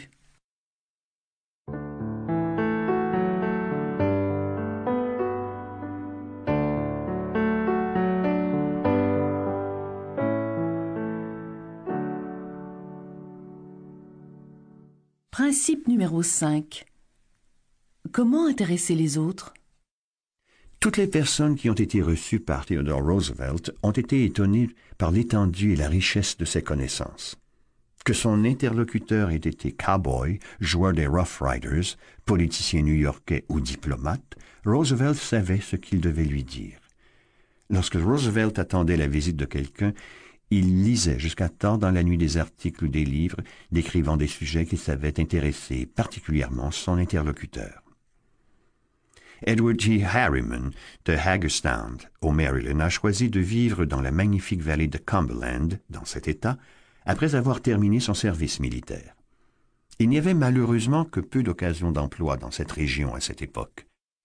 Après avoir fait un peu de recherche, il s'est aperçu qu'un grand nombre d'entreprises locales soit appartenaient ou était contrôlé par un homme d'affaires indépendant des plus inhabituels, R.J. Foxhauser.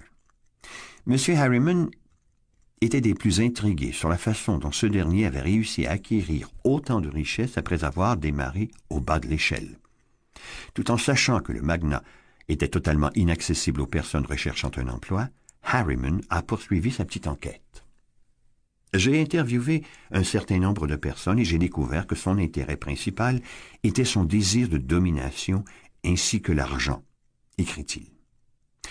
Étant donné qu'il se protégeait des solliciteurs dans son propre genre en plaçant entre lui et eux une secrétaire qui lui était entièrement dévouée, j'ai étudié les intérêts et les visites de cette dernière, et c'est uniquement après avoir fait cela que je lui ai rendu une visite surprise. Elle évoluait dans l'orbite de M. Foghouse depuis les quinze dernières années. Lorsque je lui ai dit que j'avais une proposition à faire à son patron qui pourrait se traduire pour lui par de grands bénéfices financiers et politiques, elle s'est montrée enthousiaste. Je lui ai aussi parlé du rôle qu'elle avait joué dans la réussite de son employeur. À la suite de cette conversation, elle m'a organisé une rencontre avec cet homme pratiquement invisible. Je suis entré dans son impressionnant bureau, décidé de ne pas lui demander un emploi de façon directe. Il était assis derrière un immense bureau en bois sculpté et s'est adressé à moi d'une façon tonitruante. Eh bien, jeune homme. J'ai répondu, Monsieur Foghouse, je crois que je peux vous faire gagner de l'argent. Il s'est immédiatement levé et m'a invité à m'asseoir dans l'un des immenses fauteuils de cuir. Je lui ai fait part de mes idées et des qualifications que je possédais pour les réaliser. Je lui ai ensuite exposé comment ces idées pourraient contribuer à sa réussite personnelle et à celle de ses affaires. RJ, comme je l'appelle maintenant, m'a engagé sur le champ, et à notre profit mutuel, voilà vingt ans que je prospère au sein de ces entreprises. Principe numéro 5. Parlez-leur de ce qui les intéresse.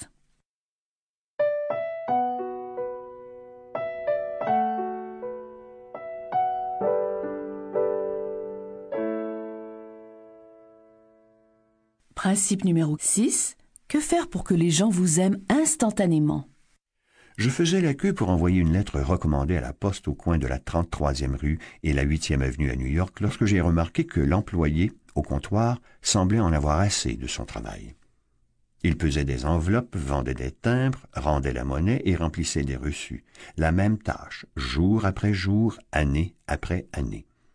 Je me suis dit alors, je vais essayer de faire en sorte que ce préposé m'aime bien. Il était évident que je dois lui dire quelque chose de gentil à son sujet et non au mien.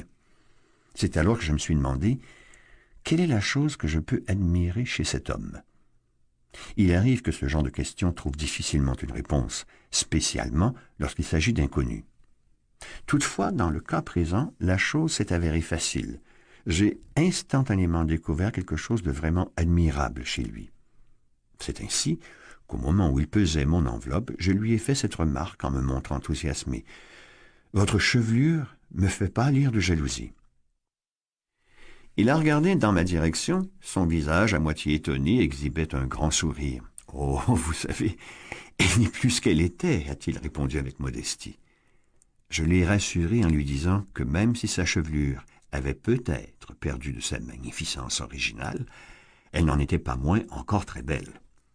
Ma remarque lui a fait extrêmement plaisir. Nous avons continué un petit peu notre conversation, et la dernière chose qu'il m'a confiée a été de nombreuses personnes ont déjà admiré ma chevelure. Je suis prêt à parier que ce monsieur est allé déjeuner ce jour-là en se sentant heureux. Je parie que lorsqu'il est rentré chez lui le soir, il a parlé à sa femme, et je parie même qu'il s'est regardé dans le miroir et qu'il ait dit C'est vraiment une belle chevelure. Il m'est arrivé de raconter cette histoire en public, et un homme m'a demandé Que vouliez-vous obtenir de cet homme? Ce que je voulais de lui. Ce que je voulais de lui. Sommes-nous si égoïstes qu'il nous est impossible de diffuser un peu de bonheur et de transmettre une appréciation honnête sans essayer de soutirer quelque chose en retour? Si notre âme n'est pas plus grosse qu'une pommette aigre, il est certain que nous ne ferons que connaître l'insuccès que nous méritons. Oh oui, j'avais quelque chose de plus à signaler au sujet de cet employé. Je voulais en retour quelque chose qui n'a pas de prix et que j'ai obtenu. J'ai eu la sensation d'avoir fait quelque chose pour lui sans qu'il ait pu faire quoi que ce soit pour moi en retour. C'est une sensation agréable qui perdure dans la mémoire bien longtemps après que l'événement, très anecdotique, se soit déroulé. Il existe une loi humaine très importante. Lorsque nous lui obéissons, il est bien probable que nous n'aurons jamais de problème. En fait, lorsque l'on obéit à cette loi, nous aurons de nombreux amis et serons toujours heureux. Toutefois, dès que nous désobéirons à cette loi, nous risquons de n'avoir que des problèmes. la voici. Faites toujours sentir à l'autre personne son importance. Les philosophes ont spéculé depuis des milliers d'années sur les lois qui régissent les relations humaines. Toute cette spéculation n'a conduit qu'à un seul principe vraiment important et qui n'est pas nouveau. Il est aussi vieux que le monde. Confucius l'a enseigné en Chine il y a 24 siècles. Lao Tse-tu, le fondateur du taoïsme, en parlait à ses disciples dans la vallée du Han. Bouddha l'a prêché sur les rives du Gange cinq siècles avant Jésus-Christ. Les livres sacrés de l'hindouisme y font allusion mille ans plus tôt. Jésus l'a enseigné sur les collines rocailleuses de Judée il y a vingt siècles. Il l'a résumé dans une seule de ses pensées, probablement la loi la plus importante au monde et qui se résume en ces mots. Tout ce que vous désirez que les autres fassent pour vous, faites-le vous-même pour eux. Obéissons donc à cette règle d'or. Comment? Quand? Où? La réponse est tout le temps et partout. Vous n'avez pas à attendre de devenir ambassadeur de France ou responsable du comité des pique-niques de votre association avant d'utiliser cette philosophie de l'appréciation, une philosophie qui donne des résultats magiques pratiquement tous les jours. Si par exemple la serveuse vous apporte de la purée alors que vous aviez commandé des frites, il est préférable de lui dire je suis désolé de vous déranger, mais je préférerais des frites. Elle répondra probablement aucun problème et sera contente de vous satisfaire parce que vous avez fait preuve de respect à son égard. Des petites phrases comme je suis désolé de vous déranger, pourriez-vous être assez aimable pour, pouvez-vous, s'il vous plaît, merci, sont des petits mots de courtoisie qui agissent comme de l'huile sur les rouages monotones de la vie quotidienne. Ce sont également les signes d'une bonne éducation. La vie de nombreuses personnes changerait probablement s'il existait quelqu'un qui puisse leur montrer à quel point elles sont importantes. Ronald J. Rowland, un des instructeurs de notre cours en Californie, est également professeur d'artisanat. Il nous a écrit au sujet d'un de ses élèves nommé Chris, qui faisait partie de son cours de première année. Chris est un jeune garçon timide et tranquille, qui manque de confiance en lui, le genre d'élève qui bien souvent ne reçoit pas l'attention qu'il mérite par ses professeurs. J'enseigne également un cours avancé, et y être admis représente un certain prestige et un privilège pour les élèves. Chris se montrait enchanté de travailler à son bureau le mercredi. J'ai senti que derrière son attitude réservée se cachait un feu ardent. Je lui ai demandé s'il voulait faire partie de ma classe avancée. J'aimerais pouvoir vous exprimer le regard de Chris à ce moment-là, les émotions cachées et les larmes que ce jeune garçon timide de quatorze ans essayait de refouler. Qui? Moi, Monsieur Rowland? Suis-je assez bon pour cela? Oui, Chris, tu es assez bon pour cela. J'ai dû partir à ce moment-là parce que les larmes me coulaient sur le visage. Au moment où Chris est sorti de la salle de la classe, il apparaissait avoir grandi de cinq centimètres. Il s'est retourné alors vers moi, m'a regardé de ses yeux bleus et brillants, et m'a dit d'une voix très assurée Merci, Monsieur Rowland. Chris m'a enseigné une leçon que je n'oublierai jamais. Notre propre désir de nous sentir importants. Afin de ne jamais oublier cette règle, je me suis fait une pancarte où sont écrits ces mots Tu es important. Cette pancarte est accrochée en avant de ma classe afin que tous les élèves puissent la lire et afin que je me rappelle également que chaque élève que je croise est tout aussi important. Le fond de tout cela est pratiquement que tous les gens que vous rencontrez se sentent supérieurs à vous d'une façon ou d'une autre. Lorsque vous leur ferez réaliser subtilement que vous reconnaissez leur importance de façon sincère, vous serez certain de conquérir leur cœur. Claude Marais est le propriétaire d'un restaurant à Rouen, en France. Il a utilisé ce principe et cela a sauvé son affaire en évitant de perdre une de ses employées principales. Cette femme travaillait pour lui depuis cinq ans et représentait un lien vital entre ce patron et son personnel, constitué de 21 personnes. M. Marais a été profondément choqué lorsqu'il a reçu une lettre recommandée qui l'avisait de sa démission. M. Marais nous a raconté j'ai été très surpris et encore plus déçu parce que j'avais l'impression de l'avoir traité justement ait répondu à ses attentes.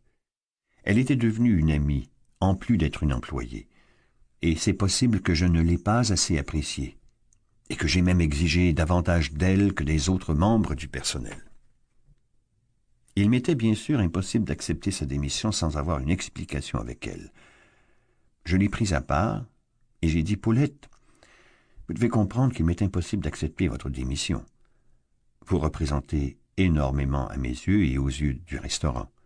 Vous êtes importante dans la réussite de cet établissement, aussi importante que moi. J'ai répété cette phrase devant le personnel au grand complet et je l'ai invitée chez moi, où je lui ai réitéré la confiance que j'avais en elle devant toute ma famille. Paulette a retiré sa démission et je peux compter sur elle à présent comme je ne l'avais jamais fait auparavant. Je renforce cela en lui témoignant fréquemment mon appréciation pour ce qu'elle a fait, et je lui montre souvent à quel point elle est importante pour moi, comme pour mon affaire. Lorsque vous parlez à des personnes, parlez-leur d'elles, et elles vous écouteront pendant des heures, a dit Disraeli, un des hommes les plus habiles à la direction de l'Empire britannique. Principe numéro 6. Faites en sorte que les personnes que vous rencontrerez se sentent importantes. En résumé, principe numéro 1. Intéressez-vous sincèrement aux autres. Principe numéro 2. Souriez. Principe numéro 3. Souvenez-vous que dans quelque langue que ce soit, le nom d'une personne est pour elle le son le plus agréable et le plus important qu'il lui est donné d'entendre. Principe numéro 4. Soyez un bon auditeur. Encouragez les autres personnes à parler d'elles. Principe numéro 5. Parlez-leur de ce qui les intéresse. Principe numéro 6. Faites en sorte que les personnes que vous rencontrerez se sentent importantes.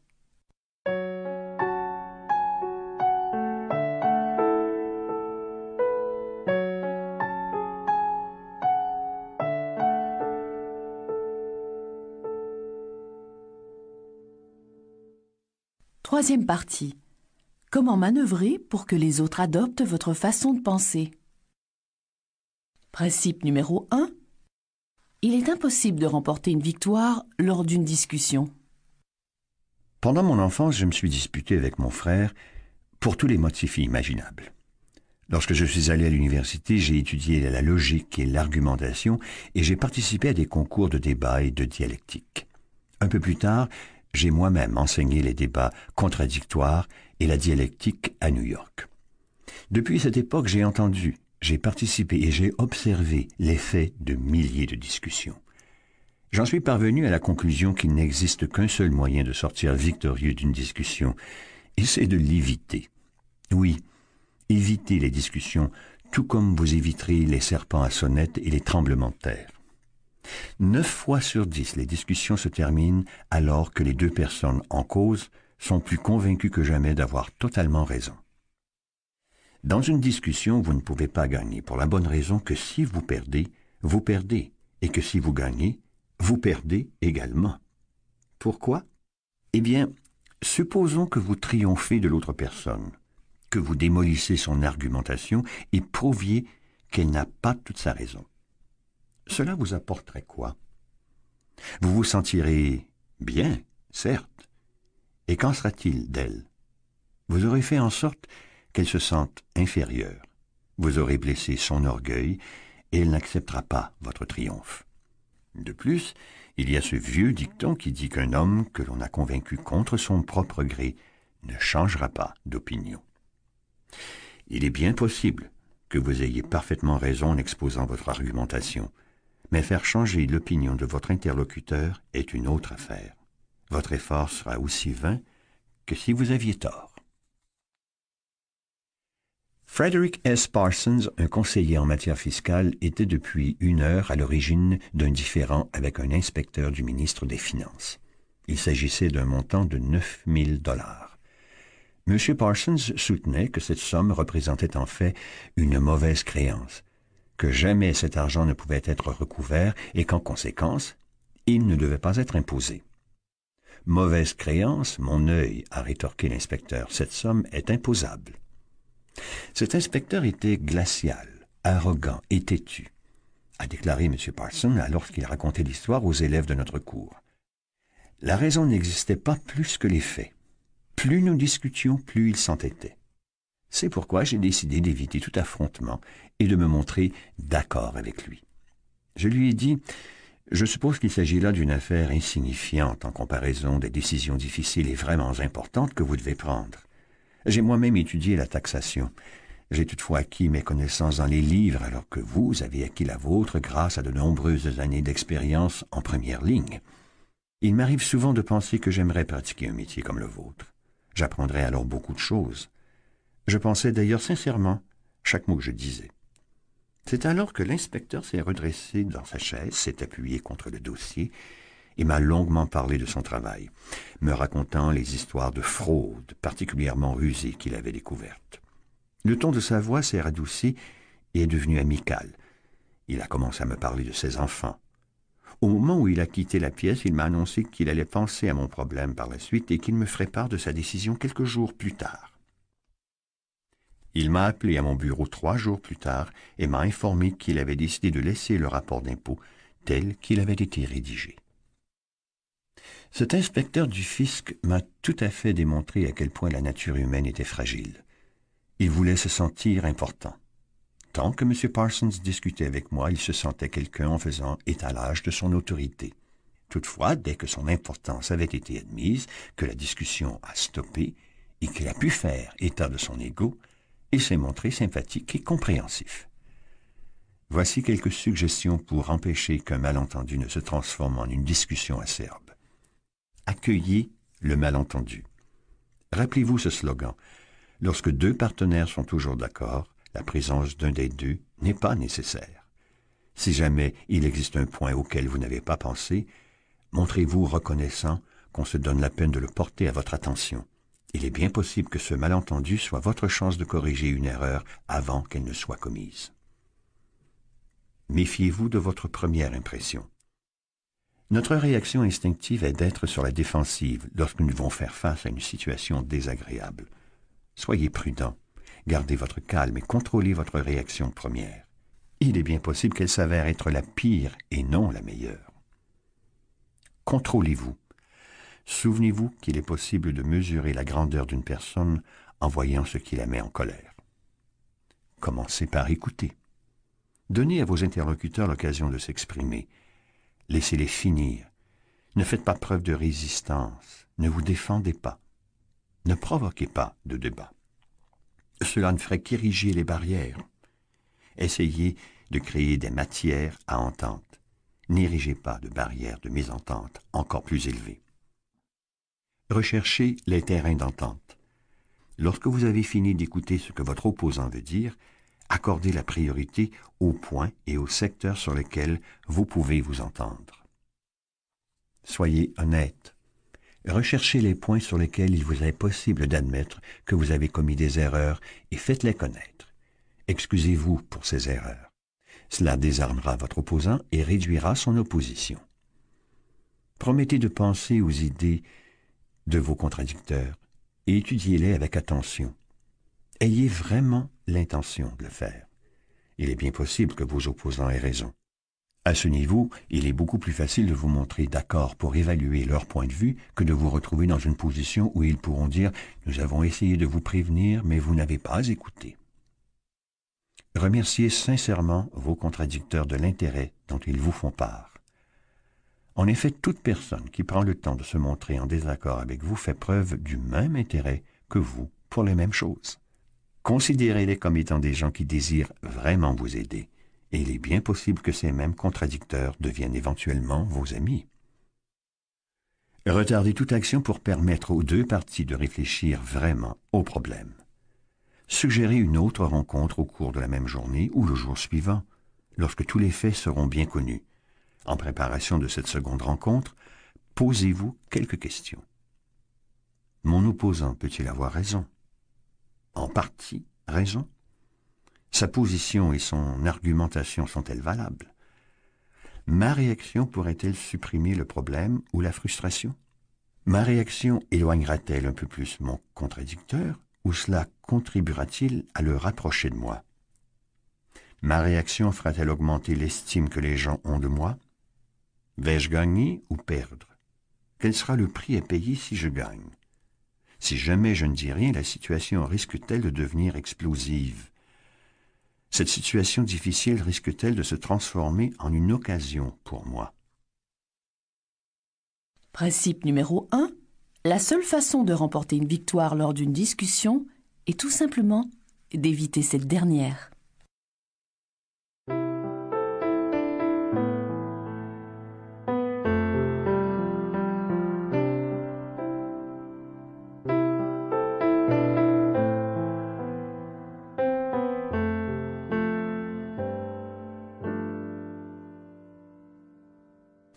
Numéro 2. Un bon moyen pour se faire des ennemis à coup sûr est comment éviter que cela n'arrive. Aussi bien que les mots qu'elle peut prononcer, un regard, une intonation de la voix ou un geste peuvent nous montrer qu'une personne a tort. Et lorsque vous lui dites qu'elle a tort, auriez-vous l'outrecuidance de lui faire dire qu'elle est d'accord avec vous? Jamais. En effet, vous avez porté atteinte à son intelligence, à son jugement, à son orgueil et à son amour-propre. Cela va provoquer chez elle un désir de vengeance. Une chose est certaine, cela ne la fera jamais changer d'avis. Ne débutez jamais en claironnant « je vais vous prouver ceci ou cela ». Vous faites fausse route. Cela revient à dire « je suis plus intelligent que vous ». Alors je vais vous dire une chose ou deux qui vous fera changer d'avis. Voilà tout un défi. Cela fait apparaître l'opposition et fait en sorte que votre interlocuteur a envie de se battre avec vous avant même que vous n'ayez commencé. Il est très difficile de faire changer les gens d'opinion, même pour des choses sans importance. Alors pourquoi tout compliquer? Pourquoi se constituer un handicap? Si jamais vous désirez prouver quelque chose, ne le faites pas savoir à qui que ce soit. Agissez de façon subtile, si adroite que personne ne s'apercevra de votre démarche. Lorsque quelqu'un émet une opinion que vous pensez être fausse, oui, même si vous sentez pertinemment qu'elle est fausse, ne vaudrait-il pas mieux commencer en disant Oui, évidemment, j'ai pensé d'une autre manière, mais il se peut, cependant, que je me trompe. Cela m'arrive souvent de me tromper. Et si je me trompe, j'aimerais que vous me le disiez tout de suite. Examinons donc les faits. Vous n'aurez jamais de problème en admettant que vous pourriez vous tromper. Cela stoppera toute augmentation et fera en sorte que votre interlocuteur soit aussi juste, aussi franc, et fasse preuve d'autant de largesse d'esprit que vous. Cela lui donnera même envie d'admettre que lui aussi pourrait avoir tort. Ce chapitre ne révèle aucune nouveauté. Il y a deux mille ans, Jésus a dit « Montre-toi rapidement d'accord avec ton adversaire » et 2200 ans avant la naissance du Christ, le roi Actoï d'Égypte a donné à son fils quelques conseils pertinents, des conseils qui pourraient s'avérer utiles à notre époque. Sois diplomate, lui a conseillé le roi, tu parviendras plus facilement à tes fins. En d'autres mots, ne vous engagez pas dans une discussion avec votre client, votre épouse ou votre adversaire. Ne leur dites pas qu'ils ont tort, ne les énervez pas. Faites preuve de diplomatie. Principe numéro 2. Respectez les opinions d'autrui. Ne dites jamais vous êtes dans l'erreur.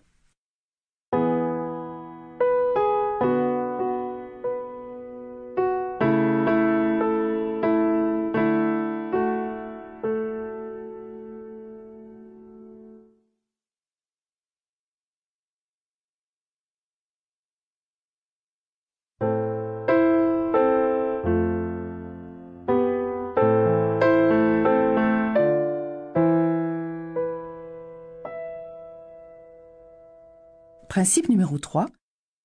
Si vous avez tort, admettez-le. À moins d'une minute de marche de ma maison existe un petit boisier vierge où se retrouve un fourré de ronces qui donnent des fleurs blanches au printemps et où les écureuils nichent. Les mauvaises herbes y poussent aussi haut que la tête d'un cheval. Je me promenais souvent dans ce parc avec Rex, mon petit bulldog Boston, un petit chien très amical qui n'aurait pas fait de mal à une mouche. Comme nous ne rencontrions pratiquement jamais personne, j'emmenai Rex sans lui mettre la laisse ni la muselière. Un jour, nous avons rencontré un policier à cheval dans ce parc, un agent qui avait fort envie de faire preuve de son autorité. À quoi pensez-vous en laissant courir votre chien sans laisse et sans muselière dans ce parc? m'a-t-il dit en guise de réprimande. Ne savez-vous donc pas que cela est contraire à la loi Oui, je sais, ai-je répondu d'une voix douce, mais je ne pensais pas qu'il pourrait occasionner quelques problèmes dans un tel endroit. Vous ne pensiez pas. Vous ne pensiez pas. La loi se moque pas mal de ce que vous pensez. Ce chien aurait bien pu tuer un écureuil ou mordre un enfant. Pour cette fois-ci, je vous laisse partir sans vous donner d'amende. Cependant, si jamais il m'arrive de revoir ce chien dans ce parc sans laisse et sans muselière, vous vous retrouverez au tribunal. J'ai immédiatement promis d'obéir à son ordre. Et j'ai obtempéré pendant un certain temps. Rex, toutefois, n'aimait pas la muselière. Pas plus que moi, en fait. Et c'est pourquoi nous avons décidé de prendre un risque. Tout s'est bien passé pendant un certain temps, et ensuite nous sommes tombés sur un os. Rex et moi étions en train de courir sur le sommet d'une colline par un bel après-midi, lorsque tout à coup, à mon grand désarroi, j'ai vu le représentant de la loi sur son cheval B. Rex courait en avant et se dirigeait tout droit vers le policier. J'étais pris sur le fait. Je le savais. Je n'ai donc pas attendu que le policier commence à me parler. Je l'ai battu d'une longueur. Je lui ai dit, Monsieur l'agent, vous m'avez pris en flagrant délit. Je suis coupable. Je n'ai pas d'alibi et je n'ai pas d'excuse. Vous m'aviez donné un avertissement la semaine dernière et m'aviez dit que si jamais je ne mettais pas de muselière à mon chien, vous me donneriez une amende. Eh bien, a répondu le policier d'une voix douce, je sais qu'il doit être vraiment tentant de laisser courir un petit chien comme le vôtre lorsqu'il n'y a personne aux alentours.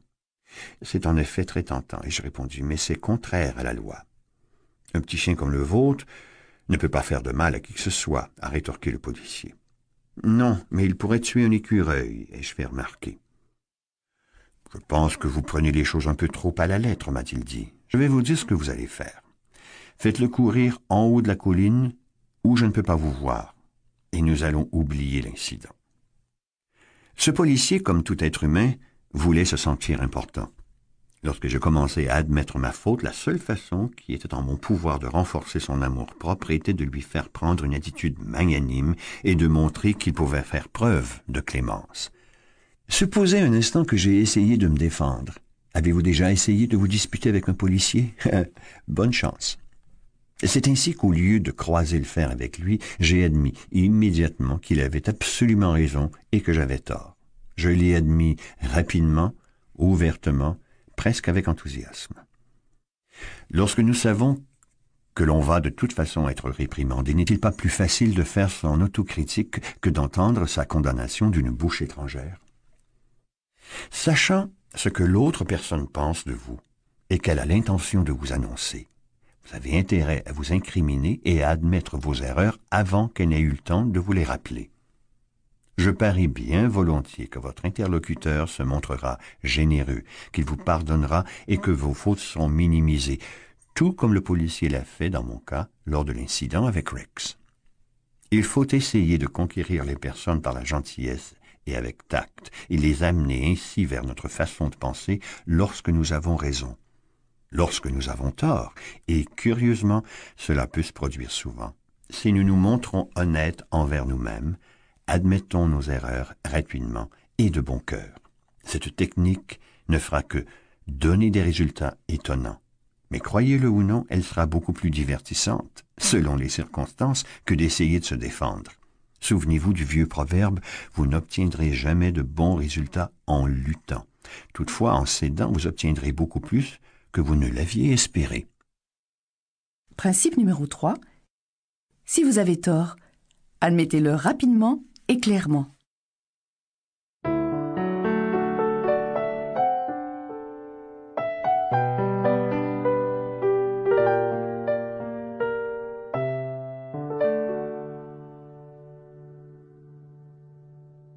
Principe numéro 4.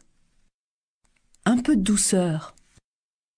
Lorsque vous êtes en colère, il est certain que cela vous fait du bien de décharger votre bile sur votre interlocuteur. Mais qu'en sera-t-il de lui? Partagera-t-il le malin plaisir que vous éprouvez? Votre ton agressif et votre attitude hostile lui permettront-ils de se mettre d'accord avec vous? O. L. Straub est un ingénieur qui désirait que son propriétaire réduise son loyer et il savait que ce dernier était coriace. M. Straub a raconté devant l'une de nos classes Je lui ai écrit pour lui signifier que j'allais libérer mon appartement dès la fin du bail. Je n'avais en fait aucune intention de déménager. Je désirais rester, mais tenais à ce qu'il diminue mon loyer. La situation paraissait désespérée. D'autres locataires avaient essayé et s'étaient cassé le nez. Ils m'ont tous dit que le propriétaire était une personne avec laquelle il était extrêmement difficile de négocier. Lui et sa secrétaire sont venus me rencontrer immédiatement après avoir reçu ma lettre. Je lui ai ouvert ma porte et les ai accueillis avec très grande amabilité. J'ai débordé d'enthousiasme et de bonne volonté. Je n'ai pas commencé par lui dire à quel point je trouvais le loyer élevé. Non, j'ai commencé par lui expliquer à quel point j'aimais son immeuble. Et croyez-moi, je n'ai pas été avare en compliments. Je l'ai félicité sur sa façon de s'occuper de la maison et lui ai dit que j'aurais vraiment aimé pouvoir rester une année supplémentaire, mais que mon budget ne me le permettait pas. Il était évident qu'il n'avait jamais reçu une telle réception de la part d'un de ses locataires. Il ne savait pas quoi penser. L'ingénieur a poursuivi. C'est alors qu'il a commencé à me parler de ses problèmes, les plaintes des locataires. Un d'entre eux qui avait envoyé quatorze lettres, dont quelques-unes d'entre elles étaient carrément injurieuses. Un autre le menaçait de casser son bail s'il ne faisait pas quelque chose pour empêcher l'homme qui habitait directement au-dessus de lui de ronfler. C'est vraiment un soulagement, a-t-il ajouté, d'avoir un locataire satisfait comme vous. C'est alors qu'il m'a proposé de réduire mon loyer avant même que je le lui demande. Je voulais obtenir plus, et j'ai indiqué le montant que mon budget me permettait. Il a accepté, sans ajouter un seul mot. Au moment où il s'en allait, il s'est tourné vers moi et m'a demandé Puis-je vous aider à rafraîchir la peinture? Hum. Si jamais je vais essayer de faire réduire mon loyer en utilisant la méthode utilisée par les autres locataires, je suis absolument certain que j'aurais essuyé le même refus qu'eux. Mon approche amicale, sympathique et reconnaissante l'avait gagné à ma cause. Il y a bien longtemps, alors que j'étais un jeune garçon aux pieds nus qui traversait les bois pour se rendre à l'école du village dans le nord-ouest du Missouri, j'ai lu une fable concernant le soleil et le vent. Ces deux derniers se disputaient pour savoir lequel des deux était le plus fort. Le vent a dit Je vais prouver que je suis le plus fort. Tu vois ce vieil homme là-bas, avec son manteau? Je parie que je peux le lui enlever avant toi. Le soleil est alors allé se cacher derrière un nuage et le vent a soufflé jusqu'à ce qu'il devienne presque une tornade. Cependant, plus le vent soufflait, plus le vieillard s'emmitouflait dans son manteau. Le vent s'est finalement calmé et a renoncé. À ce moment-là, le soleil est sorti de derrière le nuage et a souri gentiment au vieil homme. Et voilà que ce dernier a commencé à s'essuyer le front et à enlever son manteau.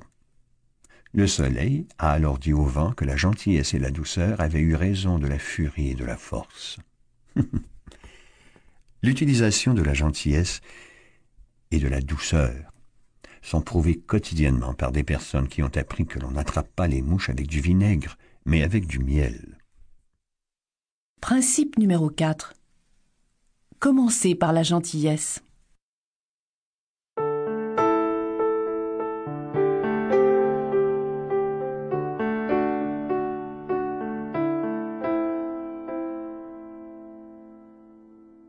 Principe numéro 5.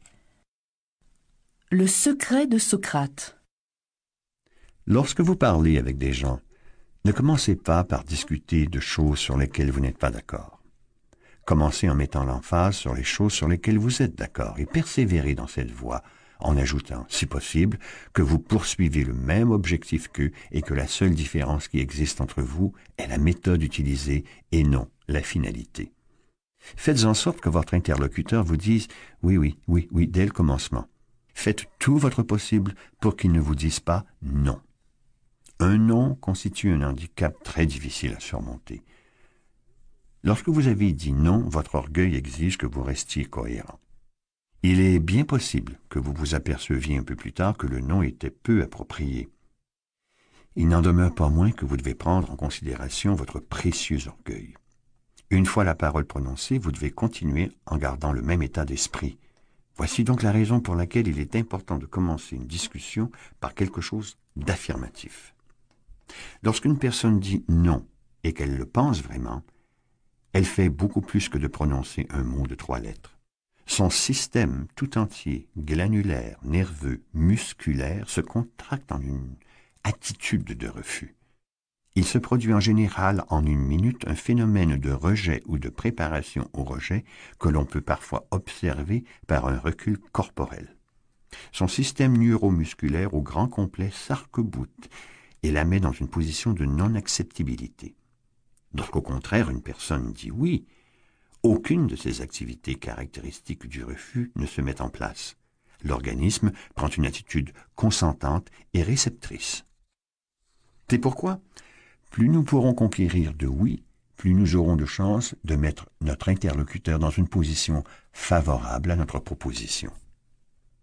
Lorsqu'un élève commence par dire non, ou qu'un client, un enfant ou un époux prononce ce non, il faudra toute la sagesse et la patience de la terre pour transformer ce non en un oui. Cette technique du oui-oui a permis à James Eberson, un employé de banque pour la Greenwich Savings Bank de New York, de se gagner un client qui aurait été perdu s'il ne l'avait pas appliqué. Cet homme était venu pour ouvrir un compte, a raconté M. Eberson, et je lui ai donné les formulaires habituels à remplir. Il a répondu aux questions sans problème, mais a refusé de répondre catégoriquement à certaines d'entre elles. Avant d'avoir étudié les relations humaines, j'aurais certainement dit à ce futur déposant que s'il refusait de fournir à la banque les renseignements exigés, nous serions dans l'obligation de ne pas procéder à son ouverture de compte. Je me sens honteux d'avoir agi ainsi dans le passé. Il est évident qu'un ultimatum comme celui-là flattait mon ego.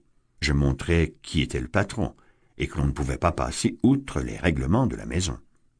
Ce genre d'attitude, cependant, ne pouvait pas donner à l'homme qui venait d'entrer pour nous confier ses affaires le sentiment d'être le bienvenu. J'ai donc décidé d'utiliser un peu de gros bon sens ce matin-là. J'ai décidé de ne pas parler de ce que la banque désirait, mais de ce que le client désirait. Et par-dessus tout, j'avais pris la résolution de faire en sorte qu'il dise oui, oui, dès le commencement. Je me suis donc montré d'accord avec lui. Je lui ai dit que les renseignements qu'il refusait de donner n'étaient pas absolument nécessaires. Cependant, lui ai-je dit, supposons que vous ayez de l'argent dans votre compte au moment de votre décès.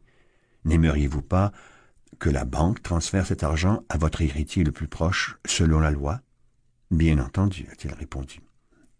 Ne pensez-vous pas, ai-je poursuivi, qu'il serait bon de nous donner le nom de cet héritier pour que, dans l'éventualité de votre décès, nous puissions exécuter vos volontés dans des plus brefs délais et sans erreur?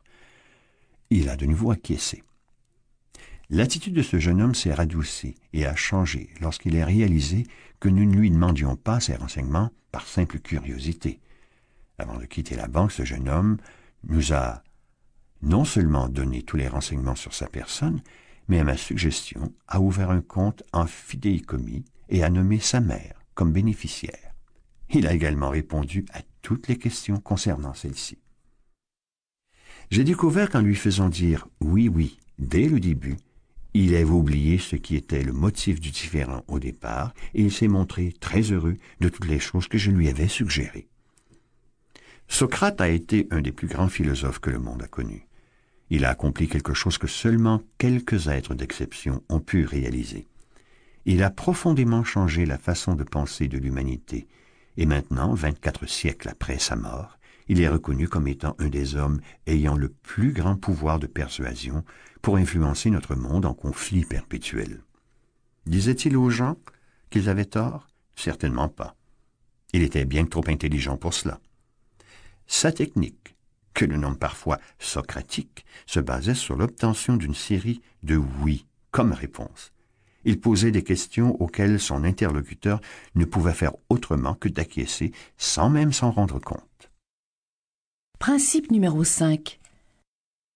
Faites en sorte que votre interlocuteur acquiesce immédiatement.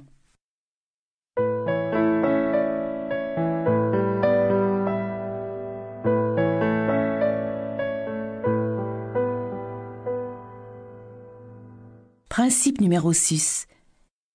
Une soupape de sécurité en cas de plainte. La plupart des gens parlent trop lorsqu'ils essaient de convaincre un interlocuteur. Donnez aux autres la chance de s'exprimer. Ils connaissent mieux leurs problèmes et leurs affaires que vous. Posez-leur donc des questions et laissez-les parler.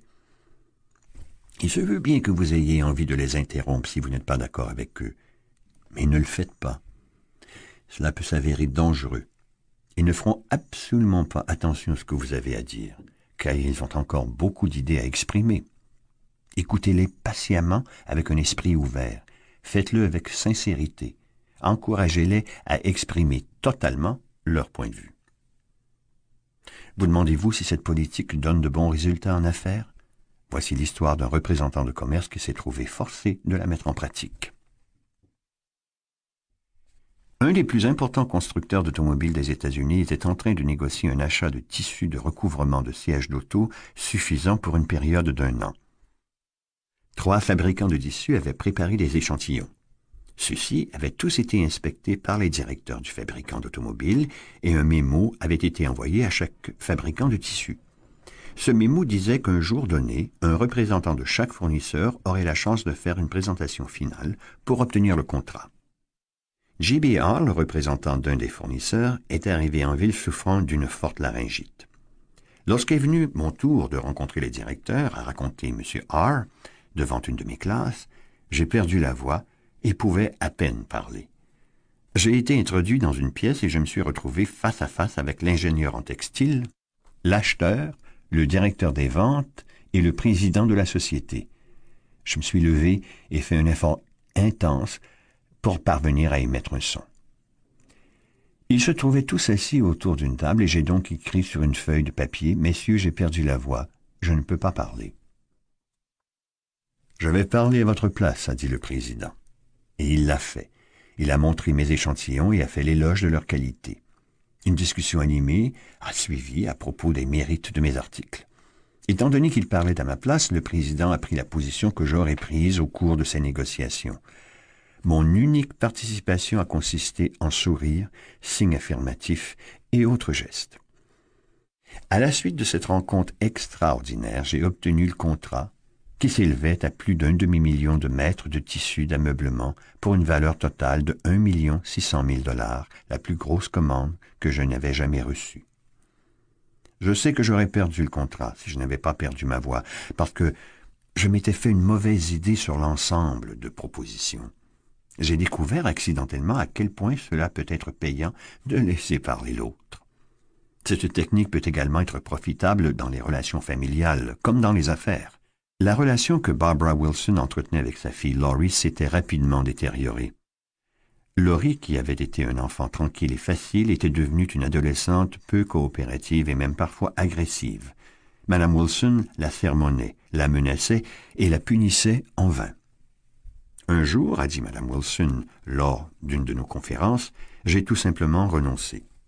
Laurie m'avait désobéi, était sortie pour aller chez une de ses amies sans permission, et avant d'avoir terminé ses corvées routinières. Lorsqu'elle est revenue, j'étais prête à la réprimander pour la dix millième fois. Je n'en avais toutefois pas la force. Je n'ai fait que la regarder en lui disant tristement Pourquoi, Laurie? Pourquoi?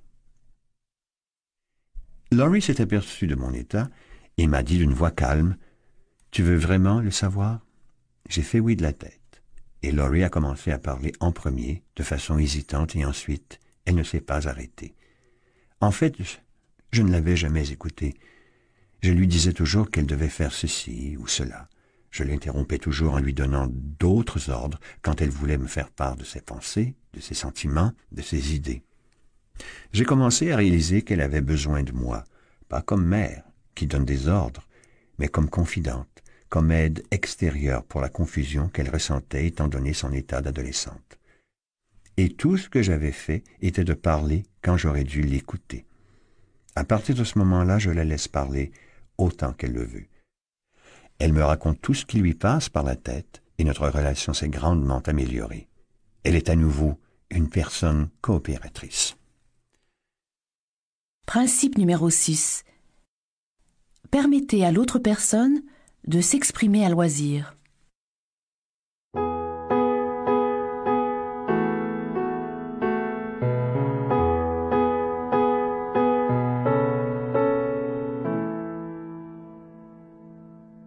Principe numéro 7. Comment obtenir de la coopération? N'avez-vous pas plus confiance dans les idées que vous découvrez vous-même que dans celles qui vous sont servies sur un plateau d'argent? Si tel est le cas, ne trouvez-vous pas que d'essayer de modifier à tout prix l'opinion des autres relève du manque de jugement? N'est-il pas plus sage de faire des suggestions et de laisser l'autre tirer ses propres conclusions?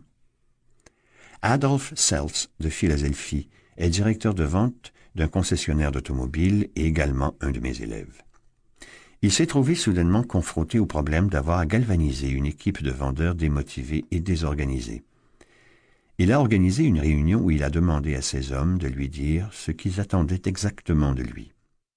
Au fur et à mesure que les vendeurs parlaient, il notait leurs idées sur un tableau. Il leur a ensuite expliqué Je vais vous fournir toutes les qualités que vous exigez de moi. Maintenant, je voudrais que vous me disiez ce que j'ai le droit d'attendre de vous. Les réponses ont rapidement fusé. La loyauté, l'honnêteté, l'initiative, l'optimisme, l'esprit d'équipe et huit heures par jour de travail dans l'enthousiasme. La réunion s'est terminée par l'apport d'un nouveau courage, d'une nouvelle inspiration.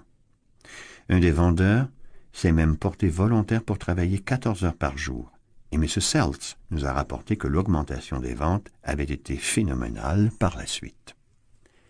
Les vendeurs avaient conclu une sorte de contrat moral avec moi, a expliqué ce gestionnaire, et tant que je respectais ma part du contrat, ils étaient décidés à remplir la leur. Le fait de les avoir consultés au sujet de leurs désirs et de leurs espoirs a été pour eux comme la piqûre d'énergie dont ils avaient besoin. Personne n'aime sentir qu'on lui a vendu une idée ou qu'il a reçu l'ordre de faire quelque chose. Nous préférons de beaucoup penser que les idées sont nôtres et que nous agissons de notre propre chef. Nous aimons que nos désirs, nos espoirs et nos idées soient pris en considération. Principe numéro 7. Laissez l'autre personne penser qu'il s'agit de son idée.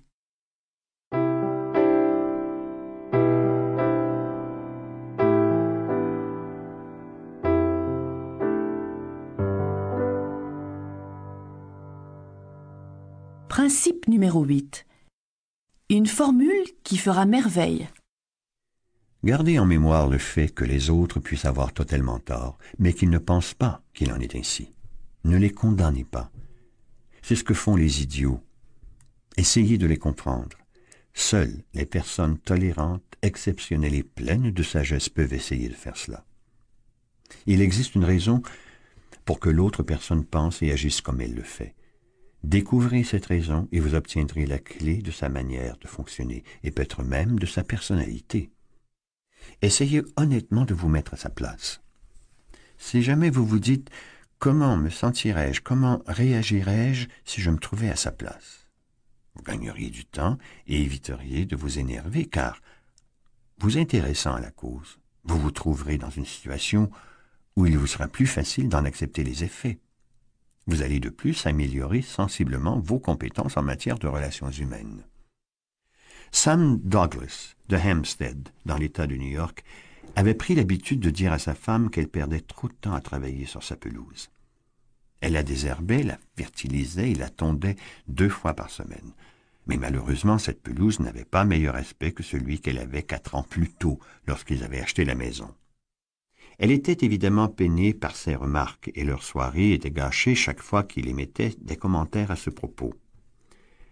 Après avoir suivi nos cours, M. Douglas a réalisé combien sa conduite avait été stupide au fil des ans. Il n'avait jamais réalisé que sa femme aimait faire ce travail et qu'elle aurait aimé recevoir des compliments. Un soir, après le dîner, alors que sa femme allait une fois de plus s'occuper du gazon, elle lui offrit de venir lui tenir compagnie. Il a commencé par décliner l'invitation et puis a repensé à la chose et a décidé de sortir avec elle pour l'aider à désherber.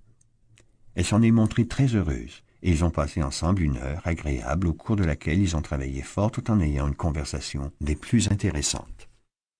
Après cette soirée, il l'a souvent aidée à jardiner et lui a fait des compliments sur l'aspect de la pelouse. Il lui a dit qu'elle effectuait un travail fantastique dans le jardin où le sol ressemblait à du béton.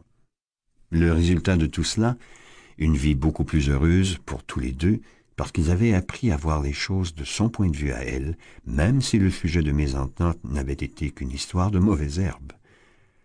Le fait de voir les choses par les yeux des autres peut diminuer les tensions qui sont créées lorsque les problèmes personnels deviennent trop accablants. Elizabeth Novak de Nouvelle-Galles du Sud, en Australie, avait six semaines de retard dans les versements en tempérament de son automobile. Le vendredi, a-t-elle raconté, j'ai reçu un coup de téléphone agressif du préposé qui s'occupait de mon compte, qui m'a dit que si d'ici lundi je n'avais pas versé 122 dollars, je pouvais m'attendre à ce que ma société entame des procédures. Je ne voyais pas comment j'allais pouvoir trouver cette somme au cours du week-end, et c'est pourquoi je me suis attendu au pire le lundi, lorsque j'ai reçu son appel téléphonique. Au lieu de montrer que j'étais bouleversé, j'ai examiné la situation de son point de vue.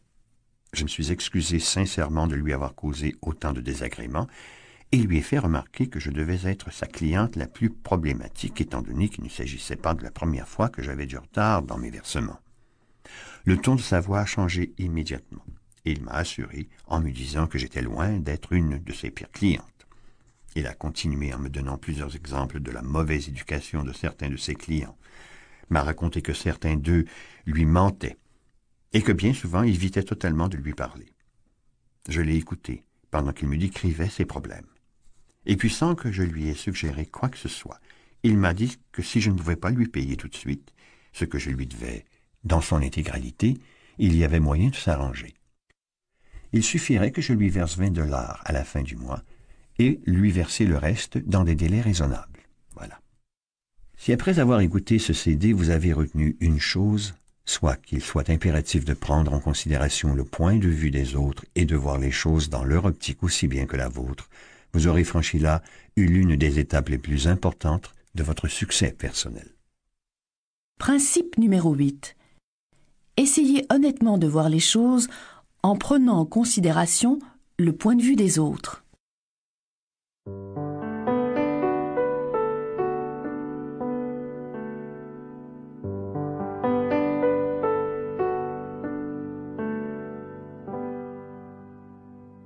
Principe numéro 9.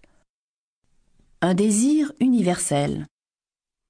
N'aimeriez-vous pas connaître une phrase magique qui vous permettrait d'éviter toutes les querelles, éliminerait toute rancune, serait source de bonne volonté, une phrase qui inciterait votre interlocuteur à vous écouter attentivement Oui Alors je vais vous faire part de cette phrase. La voici. Je ne vous en veux absolument pas de ressentir ce que vous ressentez. J'éprouverais probablement les mêmes sentiments si je me trouvais à votre place. Une réponse comme celle-ci a le don d'adoucir la personne la plus irascible au monde. Et vous pouvez la formuler et être 100% sincère parce que si vous vous trouviez à sa place, vous ressentiriez certainement ce qu'elle ressent. Prenons comme exemple Al Capone. Imaginons que vous ayez hérité du même corps, du même tempérament et du même esprit que lui. Imaginons que vous ayez vécu les mêmes expériences que lui dans le contexte où il se trouvait vous seriez exactement l'homme qu'il était, et en seriez rendu au même point. Car ce sont uniquement ces lieux et ces circonstances précises qui ont fait de lui ce qu'il fut. La seule raison pour laquelle vous n'êtes pas un serpent à sonnette vient du fait que votre père et votre mère n'étaient pas des serpents à sonnette. Les trois quarts des gens que vous rencontrerez au cours de votre vie ont faim et soif de compassion. Donnez-leur de la compassion et ils vous aimeront. Jay Mangon était le représentant d'une société qui faisait l'entretien des ascenseurs et des escaliers roulants pour un des hôtels les plus importants de Tulsa, Oklahoma. Le directeur de l'hôtel ne tolérait pas qu'un ascenseur ou un escalier roulant soit en panne pendant plus de deux heures, car il ne voulait pas que cela cause des désagréments aux clients de l'établissement. La réparation exigeait au moins huit heures de travail, et la société d'entretien n'avait pas toujours sous la main le spécialiste nécessaire au moment où l'hôtel en avait besoin. Lorsque M. Mangon put retenir les services d'un technicien compétent pour cette réparation précise, il a téléphoné au directeur de l'hôtel et au lieu de s'engager dans une discussion sur la réparation en question afin d'obtenir le temps nécessaire pour faire le travail, il lui a dit Rick, je sais que votre hôtel est très occupé ces temps-ci et je voudrais que le temps de réparation de l'escalier mécanique dure un minimum de temps. Je comprends que cette question de temps vous préoccupe. Cependant, après avoir diagnostiqué le problème, nous en sommes venus à la conclusion que si nous n'effectuons pas un entretien complet de l'escalier sur le champ, ce dernier pourrait faire face à des problèmes beaucoup plus graves par la suite, et ceux-ci provoqueront une fermeture encore plus longue. Or, je sais que vous n'aimeriez pas que vos clients en souffrent pendant plusieurs jours. Le directeur de l'hôtel s'est montré d'accord pour une fermeture de huit heures de l'escalier, une durée préférable à plusieurs jours. En se montrant réceptif au désir du directeur de l'hôtel qui voulait satisfaire sa clientèle, M. Mangon a pu faire en sorte que ce dernier se rallie facilement et sans acrimonie à sa façon de penser. Le docteur Arthur I. Gates a écrit dans son fantastique livre Educational Psychology Tous les êtres humains sont à la recherche de marques de compassion. Un enfant va vous exhiber une égratignure avec empressement, ou peut-être même s'infliger une coupure ou une meurtrissure dans le but de s'attirer de la compassion. C'est pour les mêmes raisons que les adultes exhibent leurs blessures, racontent leurs accidents, parlent de leurs maladies, et ne vous épargnent aucun détail de leurs opérations. L'apitoiement sur soi-même, sur les malchances vécues, qu'elles soient imaginaires ou réelles, fait partie des pratiques universelles. Donc si vous désirez faire en sorte que les autres pensent comme vous, mettez en pratique le principe qui suit.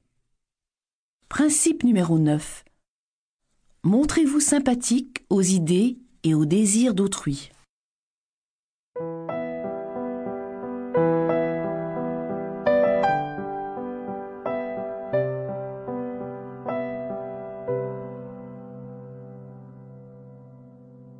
Principe numéro 10. Une idée que tout le monde aime. J'ai été élevé à la limite des terres de Jesse James au Missouri et je me suis déjà rendu à la ferme de Jesse à Kearney au Missouri où son fils vivait encore. La femme de ce dernier m'a raconté comment Jesse James attaquait les trains et faisait des barrages de banque pour ensuite donner l'argent de ses vols aux fermiers avoisinants pour que ces derniers puissent payer leur hypothèque.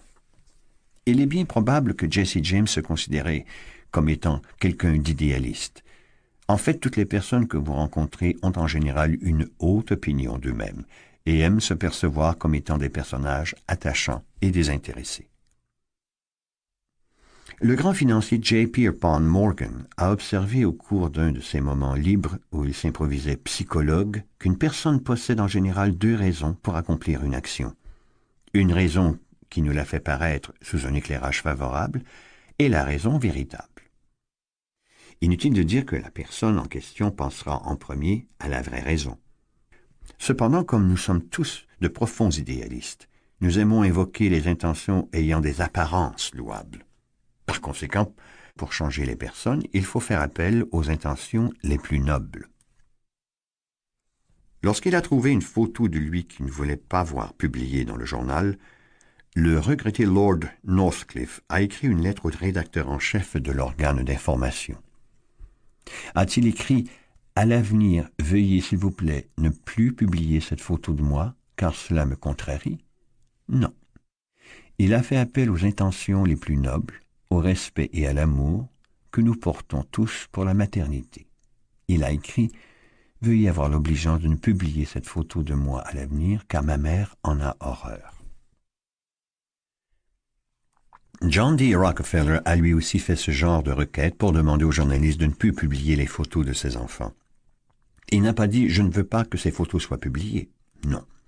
Il a fait appel au désir que nous avons tous de faire en sorte que nos enfants subissent un minimum de préjudice. Il a demandé Vous savez ce que c'est? Vous aussi avez des enfants. Or vous devez savoir combien toute publicité excessive peut se révéler néfaste pour les jeunes. Principe numéro 10 Faites appel aux motifs les plus nobles.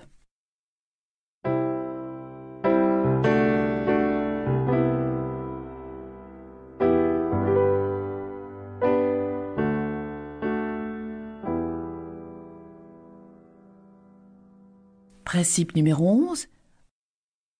Le cinéma le fait, la télévision aussi. Pourquoi ne le feriez-vous pas?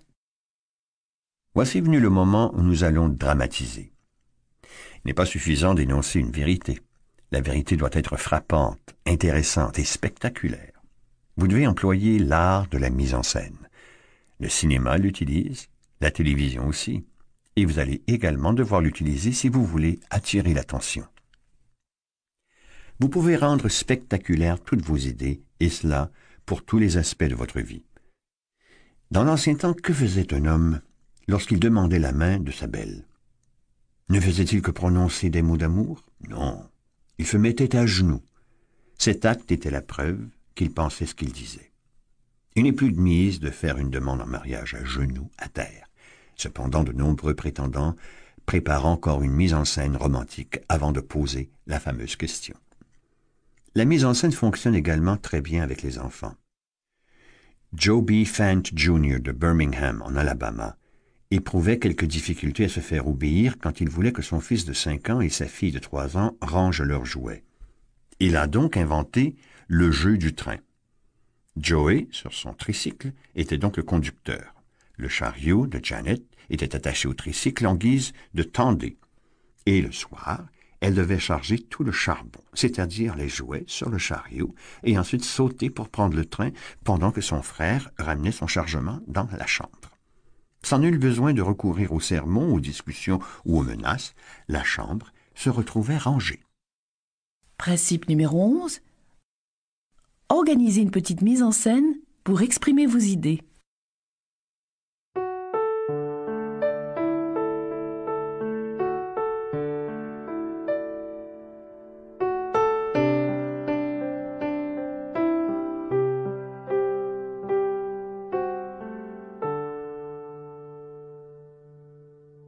Principe numéro 12. Lorsque rien d'autre ne fonctionne plus, essayez ceci. Charles Schwab possédait une usine administrée par un directeur. Ce cadre éprouvait des difficultés pour faire en sorte que les ouvriers de l'usine produisent le quota de travail exigé. Schwab lui a demandé Comment cela se fait-il qu'un directeur de votre calibre ne parvienne pas à faire fonctionner cette usine comme elle le devrait Je ne sais pas, a répondu le directeur. J'ai essayé d'amadouer les ouvriers, je les ai harcelés, réprimandés et contre eux. Je les ai voués aux gémonies et menacés de la porte. Rien ne fonctionne. Ils ne veulent tout simplement pas assurer la production. Cette conversation s'est tenue à la fin de la journée juste avant que l'équipe de nuit ne remplace celle de jour. Schwab a demandé au directeur de lui donner un morceau de craie et il a demandé à un ouvrier qui passait près de lui Combien de fournées avez-vous sorti aujourd'hui? Six, a répondu l'homme. Schwab, sans ajouter un seul mot, a dessiné un gros 6 sur le sol et a quitté les lieux. Lorsque l'équipe de nuit est arrivée, les ouvriers ont vu le gros 6 sur le sol et ont demandé ce qu'il signifiait. Le grand patron est venu aujourd'hui, a répondu l'équipe de jour. Il nous a demandé combien de fournées nous avions faites au cours de la journée, et nous lui avons répondu six. Il a ensuite dessiné un 6 sur le sol. Schwab a fait un tour de l'usine le jour suivant. L'équipe de nuit avait effacé le 6 et l'avait remplacé par un 7. Lorsque l'équipe de jour est arrivée pour travailler, les ouvriers ont remarqué le gros 7. Comment ça, l'équipe de nuit pense qu'elle travaille mieux que nous? Ah ah On dit les métallurgistes de jour. Eh bien, nous allons montrer une chose ou deux aux gars de l'équipe de nuit. L'équipe au grand complet s'est mise au travail avec enthousiasme, et lorsque les ouvriers ont terminé leur journée, ils ont laissé derrière eux un énorme 10. L'escalade se poursuivait. Cette usine qui avait toujours été en retard dans sa production a fonctionné en peu de temps comme elle le devait. Le principe, nous allons laisser Charles Schwab l'exprimer en ses propres termes. Il faut stimuler la compétition pour que les choses avancent. Cela ne signifie pas qu'il faille stimuler la compétition de façon sordide pour une simple question d'argent, mais dans un désir d'exceller. Le désir d'exceller, le défi, relever le gant, voilà des façons infaillibles de faire appel aux gens de caractère. Frédéric Herzberg, un des plus célèbres scientifiques en psychologie du comportement, en est arrivé aux mêmes conclusions. Il a étudié en profondeur les attitudes de travail de milliers de personnes, des ouvriers, comme des présidents de grandes sociétés. Qu'a-t-il découvert comme facteur commun capable de stimuler toutes ces personnes? Est-ce l'argent? De bonnes conditions de travail? Des bénéfices marginaux? Rien de tout cela. Le facteur le plus important qui motive les employés est le travail lui-même. Lorsque le travail est intéressant et stimulant, l'employé a envie de performer et trouve sa motivation dans l'accomplissement de sa tâche. Chaque personne qui réussit aime une chose, le jeu, la possibilité de s'exprimer, la possibilité de pouvoir montrer ce qu'elle vaut, qu'elle peut exceller et gagner. Principe numéro 12. N'hésitez pas à lancer un défi.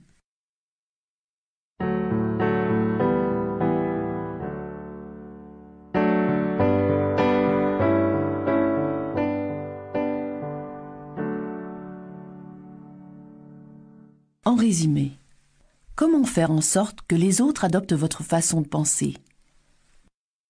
Principe numéro 1. La seule façon de remporter une victoire lors d'une discussion est tout simplement d'éviter cette dernière. Principe numéro 2. Respectez les opinions d'autrui. Ne dites jamais vous êtes dans l'erreur. Principe numéro 3. Si vous avez tort, admettez-le rapidement et clairement. Principe numéro 4. Commencez par la gentillesse. Principe numéro 5. Faites en sorte que votre interlocuteur acquiesce immédiatement. Principe numéro 6. Permettez à l'autre personne de s'exprimer à loisir. Principe numéro 7 Laissez l'autre personne penser qu'il s'agit de son idée. Principe numéro 8. Essayez honnêtement de voir les choses en prenant en considération le point de vue des autres. Principe numéro 9. Montrez-vous sympathique aux idées et aux désirs d'autrui. Principe numéro 10. Faites appel aux motifs les plus nobles. Principe numéro 11. Organisez une petite mise en scène pour exprimer vos idées. Principe numéro 12. N'hésitez pas à lancer un défi.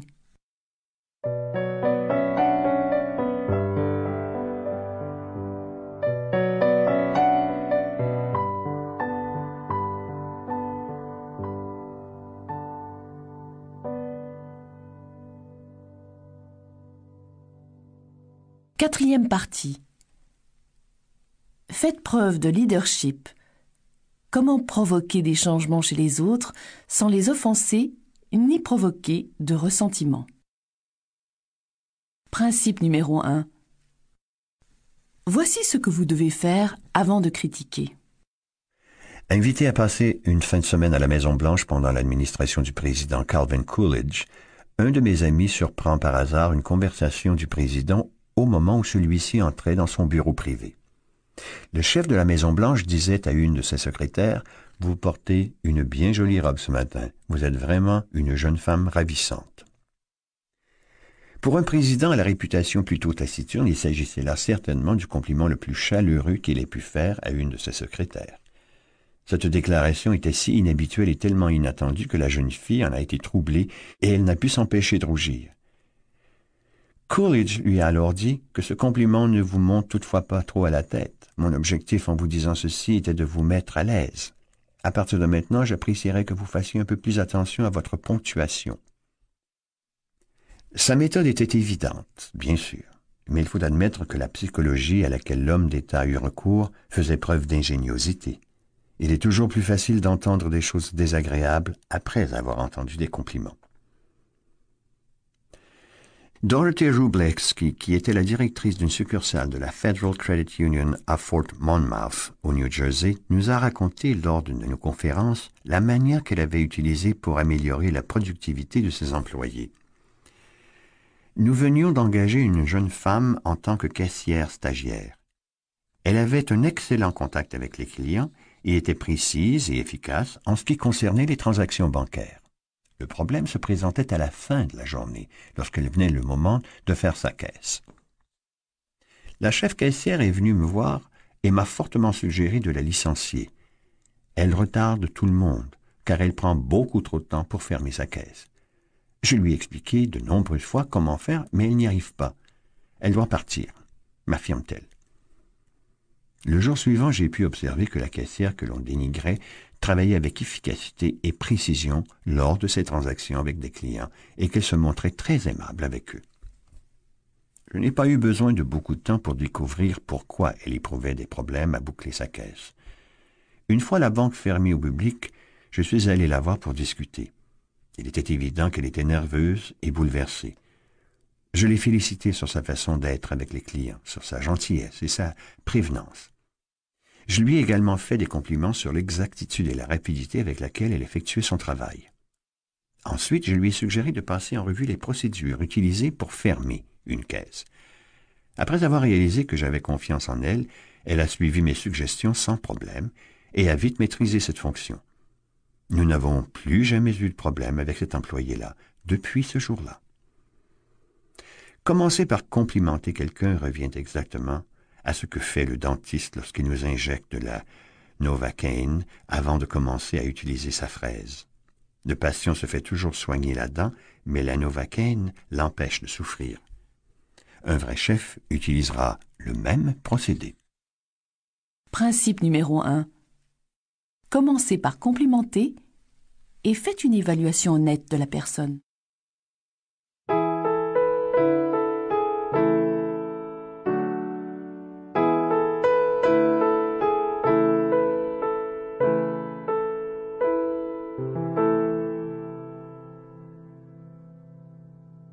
Principe numéro 2. Comment adresser des critiques en ne se faisant pas détester? Charles Schwab se trouvait dans une de ses usines un jour vers midi et surprit plusieurs de ses employés en flagrant délit. Ils fumaient des cigarettes alors qu'au-dessus d'eux se trouvait une pancarte où était écrit que cela était strictement interdit. Schwab leur a-t-il indiqué la pancarte d'un doigt accusateur en vociférant Eh, ne savez-vous donc pas lire Oh non, pas lui.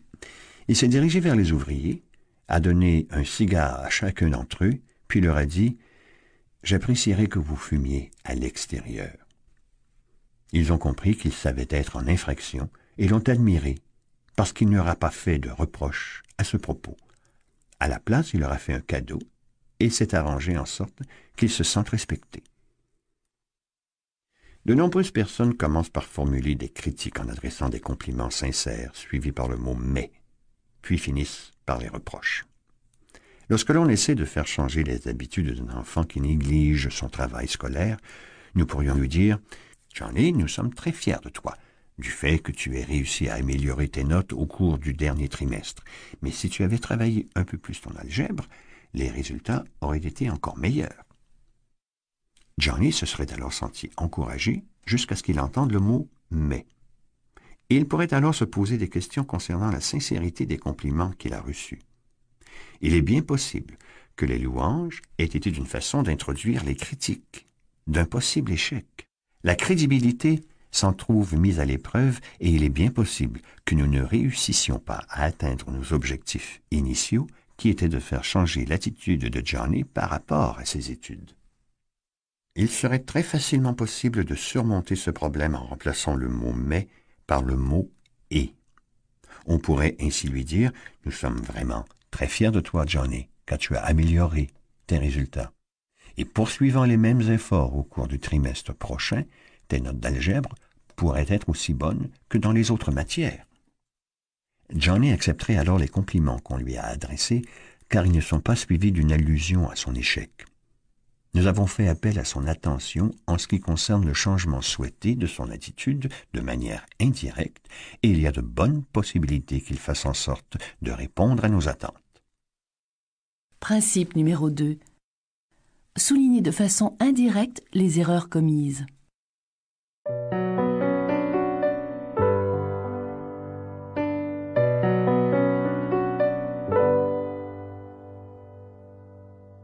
Principe numéro 3. Parlez en premier de vos propres erreurs.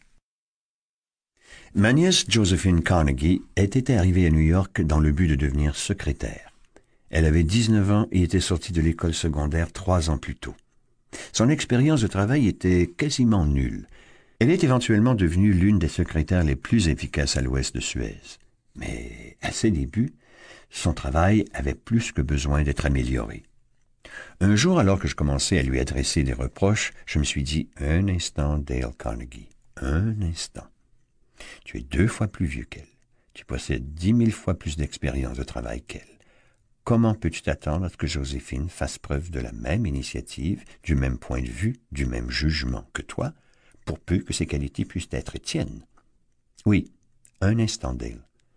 Que faisais-tu quand tu avais dix-neuf ans? Souviens-toi des erreurs stupides et des gaffes que tu faisais. Mais oui, souviens-toi de tes bêtises. Après avoir réfléchi honnêtement et impartialement, j'ai conclu que les performances de Joséphine à l'âge de 19 ans étaient supérieures aux miennes au même âge, et je suis désolé d'avoir à admettre qu'elle triomphait sans risque.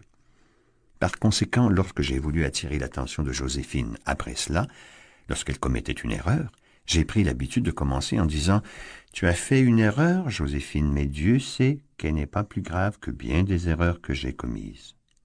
Le bon jugement n'est pas inné, il ne s'acquiert qu'avec l'expérience, et tu réussis mieux, bien mieux que moi, lorsque j'avais ton âge. Je me suis rendu coupable de tant de choses stupides et idiotes que je n'ai pas vraiment envie de critiquer qui que ce soit. Toutefois, ne penses-tu pas qu'il aurait été plus sage de faire telle ou telle chose? Il est beaucoup moins pénible d'entendre une énumération de ses erreurs si la personne qui émet les critiques commence par admettre qu'elle aussi se montre loin d'être infaillible. Le fait d'admettre nos propres erreurs, même celles qui n'ont pas été corrigées, peut contribuer à convaincre une personne à changer sa conduite.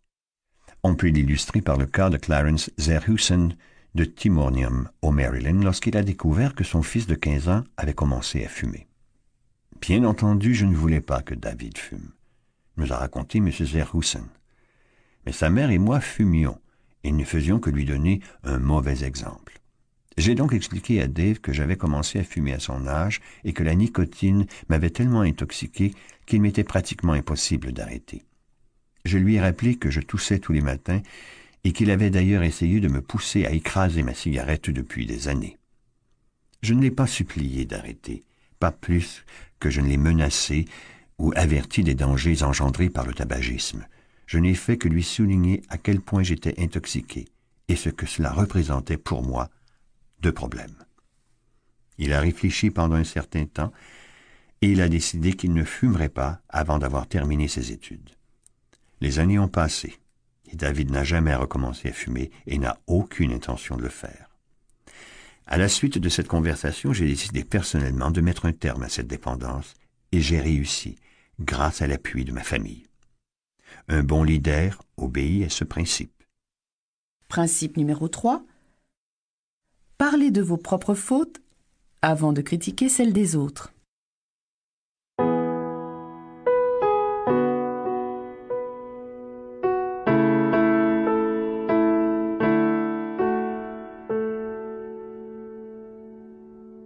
Principe numéro 4. Personne n'aime recevoir des ordres. Lorsque Ian MacDonald, le directeur d'une petite usine spécialisée en instruments de précision à Johannesburg, en Afrique du Sud, reçut un jour une commande très importante, sa première réaction fut de la refuser. Il pensait ne pas être en mesure de l'honorer pour la date prévue du fait que son entreprise devait déjà respecter l'échéancier d'un gros carnet de commandes et étant donné les exigences de livraison du client. Voilà pourquoi, au lieu de pousser ses employés pour qu'ils accélèrent leur travail et se dépêchent coûte que coûte, il a organisé une réunion de tout le personnel à qui il a exposé la situation. Il a expliqué à quel point cette commande était importante aux yeux de la société et a demandé à ses employés s'ils pensaient qu'il était possible de remplir la commande à temps. Puis il a commencé à leur poser des questions. Existe-t-il quelque chose que nous puissions faire pour honorer à temps cette commande? Quelqu'un pourrait-il me décrire les différentes étapes d'usinage qui rendraient possible son exécution? Existe-t-il une façon d'arranger nos heures de travail ou nos obligations personnelles de façon à respecter les délais de livraison du client? Les employés ont soumis de nombreuses idées et ont insisté pour qu'il accepte la commande. Ils absorbèrent le problème avec une attitude qui signifiait oui, nous y arriverons. Et c'est ainsi que la commande a été acceptée, produite et livrée dans les délais Un leader efficace utilisera ce principe. Bonjour, ici Principe Roger Lanois, numéro coach 4. international Poser et des questions au lieu de donner des ordres. 1996.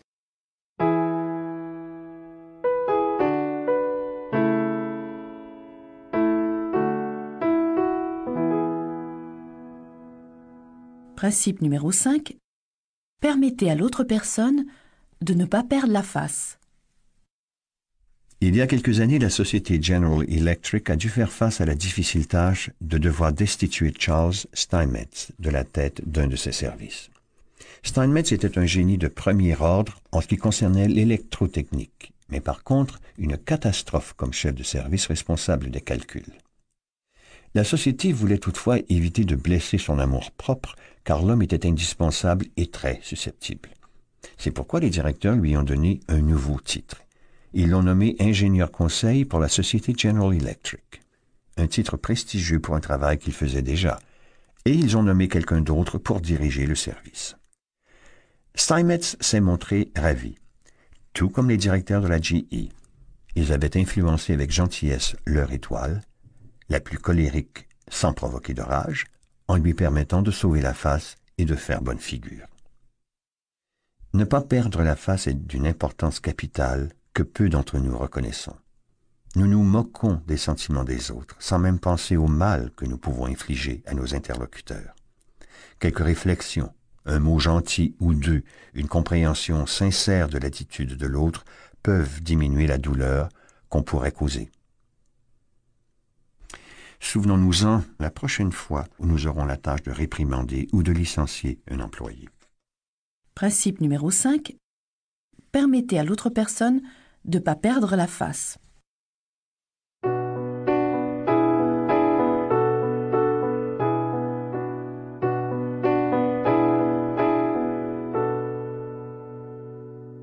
Principe numéro 6. Comment aiguiller quelqu'un vers la réussite? Pete Barlow était un de mes vieux copains. Il présentait un numéro de dressage avec un chien et un poney et passait sa vie à voyager dans des cirques et des troupes de music-hall. J'adorais observer Pete lorsqu'il dressait de nouveaux toutous pour son numéro. J'ai remarqué que lorsqu'un chien avait fait le plus petit progrès, Pete le caressait, le félicitait, lui donnait un peu de viande et faisait preuve d'une grande exubérance. Il n'y a là rien de nouveau. Les dresseurs d'animaux ont utilisé ces techniques depuis des éternités. Je me suis alors demandé pourquoi nous ne pourrions pas utiliser le même bon sens lorsque nous essayons de changer les attitudes des individus que celui que l'on utilise pour le dressage intelligent des animaux, c'est-à-dire la carotte au lieu du bâton. Pourquoi n'utiliserions-nous pas les compliments au lieu des blâmes? Louons toute amélioration aussi minime soit-elle. Cela incitera l'autre personne à continuer à s'améliorer. En faisant une rétrospective de ma vie, je me souviens des quelques mots d'appréciation qui ont provoqué des changements importants dans ma carrière. Réfléchissez à votre cas personnel. Cela ne vous est-il pas également arrivé? L'histoire est remplie de cas surprenants concernant les victoires provoquées par les compliments qu'on a reçus, des victoires qui tiennent presque de la magie. Par exemple, il y a ce jeune garçon de dix ans qui travaillait dans une usine à Naples. Il avait l'ambition de devenir chanteur. Mais son premier professeur de chant l'a découragé en lui disant Tu ne peux pas chanter. Tu n'as pas de voix. Tu as une voix de crécelle. Toutefois, sa mère, une pauvre paysanne, l'a pris dans ses bras, l'a complimenté, lui a dit qu'elle savait qu'il pouvait chanter. Elle avait déjà remarqué que sa façon de chanter s'était améliorée.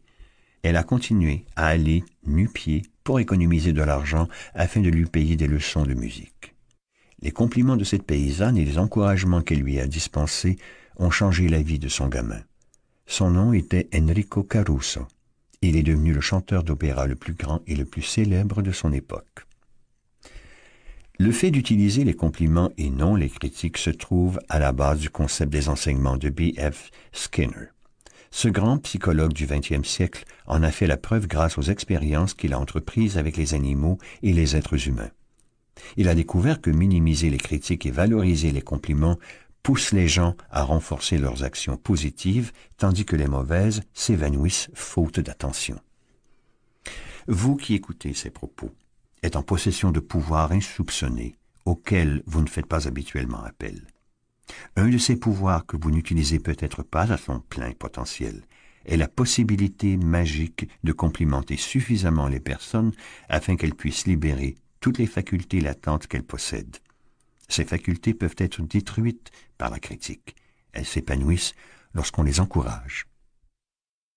Principe numéro 6. Applaudissez toute amélioration, aussi minime soit-elle, faites preuve de cordialité en témoignant votre approbation et de générosité dans votre façon de complimenter.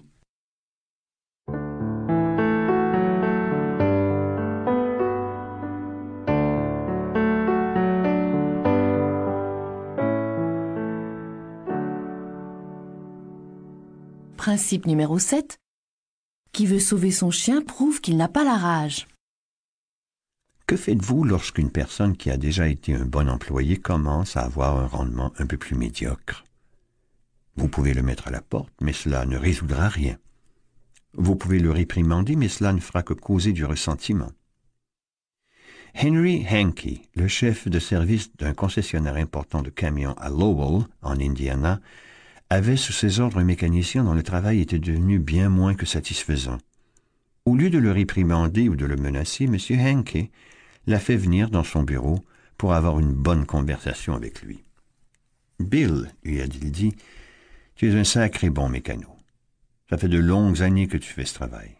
Tu as réparé un grand nombre de véhicules à la grande satisfaction des clients. En fait, nous avons reçu de nombreux compliments au sujet de ton boulot. Et pourtant, dernièrement, tu sembles avoir besoin de toujours plus de temps pour terminer ton travail, et ce dernier ne correspond plus au niveau de celui auquel tu nous avais habitués. Étant donné que tu as été un mécanicien hors pair par le passé, j'ai senti que tu voudrais savoir pourquoi je ne suis pas satisfait par le développement de la situation, et que peut-être nous pourrions trouver ensemble une solution afin de corriger le problème. Bill a répondu qu'il n'avait pas réalisé que son travail laissait à désirer a assuré à son patron que sa tâche n'était pas en dehors de ses compétences et qu'il ferait tout pour améliorer la situation. L'a-t-il fait Et comment? Il est redevenu le mécanicien diligent et excellent qu'il avait toujours été. M. Henke lui avait donné une telle renommée qu'il n'avait pas d'autre choix que d'y correspondre. Pouvait-il faire autrement que d'accomplir un travail comparable à celui qu'il avait toujours accompli dans le passé? En bref, lorsque vous désirez qu'une personne s'améliore dans un domaine donné, agissez comme si ce trait particulier faisait déjà partie d'une de ses caractéristiques les plus remarquables. Principe numéro 7. Donnez à l'autre personne une réputation si enviable qu'elle ne pourra qu'agir en conséquence pour y faire honneur.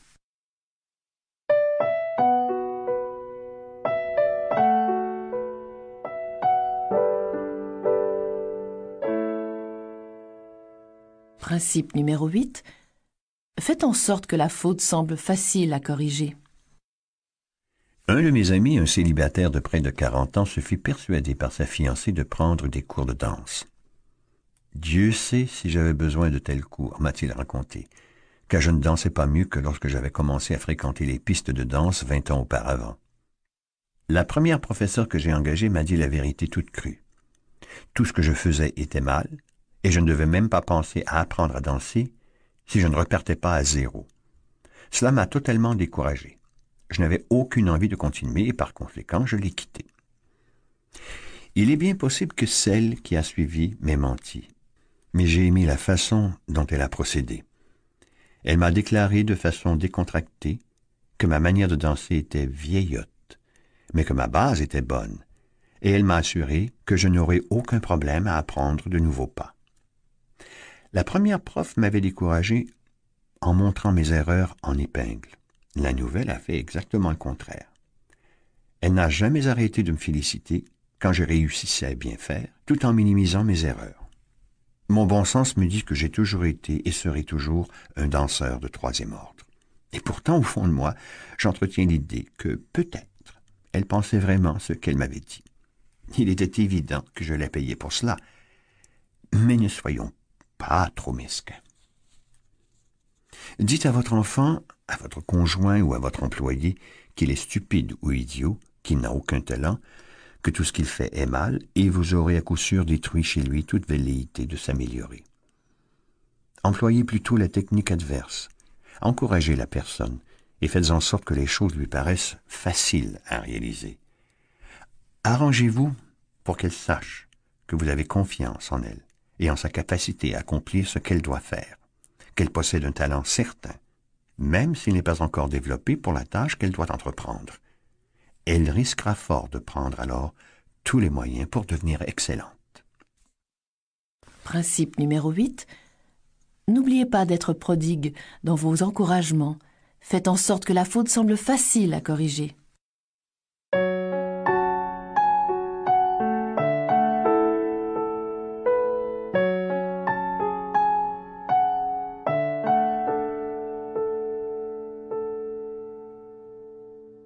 Principe numéro 9.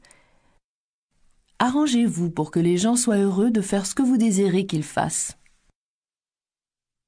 J'ai connu un homme qui devait refuser de nombreuses invitations pour donner des conférences, des invitations que lui envoyaient ses amis ou des gens auxquels il devait quelque chose. Il déclinait si adroitement les invitations que les solliciteurs se satisfaisaient malgré tout de son refus. Comment y arrivait-il? Pas seulement en racontant qu'il était trop occupé ou au moyen de toute excuse du genre. Non, après avoir montré à quel point il avait apprécié recevoir l'invitation, il ajoutait qu'il regrettait ne pouvoir l'accepter et suggérait un orateur qui serait peut-être heureux de le remplacer. En d'autres termes, il ne donnait pas à l'autre personne le temps de se sentir malheureuse à cause de son refus. Il s'arrangeait pour qu'elle change immédiatement de pensée et que celle-ci se réoriente vers la personne susceptible d'accepter l'invitation. Gunther Schmidt, qui a suivi nos conférences en Allemagne et était propriétaire d'un supermarché, a déclaré que l'une de ses employées se montrait très négligente lorsqu'elle faisait l'étalage de sacs de riz sur les étagères. Cela provoquait une certaine confusion et des plaintes dans la clientèle. Les rappels à l'ordre, les réprimandes ainsi que les rencontres avec elle n'avaient pas produit d'amélioration. Finalement, M. Schmidt l'a convoquée à son bureau. Il lui a annoncé qu'elle avait été nommée surveillante des étiquettes de prix pour l'ensemble du magasin et qu'elle serait personnellement responsable de l'exactitude des étiquettes de tous les produits sur les étagères. Cette nouvelle responsabilité et son titre ont provoqué chez elle un changement d'attitude radical. Elle remplit à la perfection ses nouvelles fonctions à partir de ce moment-là. Le procédé est-il enfantin? Et pourtant, c'est ce qui a été dit de Napoléon lorsqu'il a créé la Légion d'honneur, distribué quinze mille croix à ses soldats, promis au grade de maréchal dix-huit de ses généraux et baptisé ses troupes la Grande Armée. Napoléon a été critiqué pour avoir donné des hochets à des vétérans rompus au combat, mais a rétorqué à juste titre, c'est avec des hochets qu'on mène les hommes. Cette technique, qui consistait à accorder des titres et de l'autorité, a fonctionné pour Napoléon et elle fonctionnera pour vous. Une de mes amies, par exemple, Madame Ernest Gant de Scarsdale, dans l'État de New York, avait des problèmes avec de jeunes garçons qui n'arrêtaient pas de courir sur sa pelouse, ce qui avait pour effet de l'abîmer. Elle avait essayé de leur adresser des critiques et de les amadouer. Ensuite, elle a eu l'idée de donner au chef de la bande un titre et un sentiment d'autorité. Elle a fait de lui son détective et lui a confié la charge d'empêcher qui que ce soit de passer sur sa pelouse. Son problème a été résolu lorsque le garçon a fait mine de chauffer des fers au rouge en menaçant d'en marquer les contrevenants. Un chef efficace devrait garder à l'esprit les lignes de conduite suivantes lorsqu'il s'avère nécessaire de faire changer des attitudes ou des comportements. Soyez sincère. Ne promettez jamais quoi que ce soit si vous ne pouvez pas être fidèle à votre promesse. Faites fi des bénéfices personnels et concentrez-vous sur les bénéfices que vous pourrez apporter aux autres. Sachez exactement ce que vous voulez que l'autre personne fasse. Montrez-vous compréhensif. Demandez-vous ce que sont les désirs de l'autre. Réfléchissez aux bénéfices que votre vis-à-vis -vis obtiendra en faisant ce que vous avez suggéré. Faites en sorte que ces bénéfices soient équivalents aux désirs de votre interlocuteur. Lorsque vous demandez quelque chose, faites-le d'une façon qui correspondra à ses désirs. Principe numéro 9. Faites en sorte que les gens éprouvent du bonheur en faisant ce que vous désirez qu'ils fassent.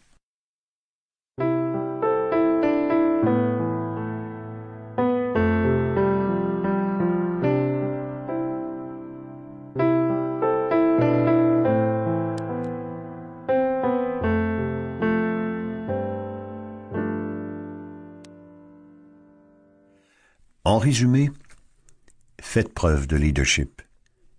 Le rôle de chef exige souvent que l'on demande un changement d'attitude et de conduite aux personnes qui dépendent de nous. Voici quelques suggestions pour y parvenir.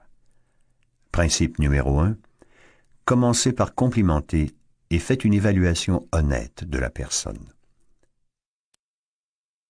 Principe numéro 2. Soulignez de façon indirecte les erreurs commises.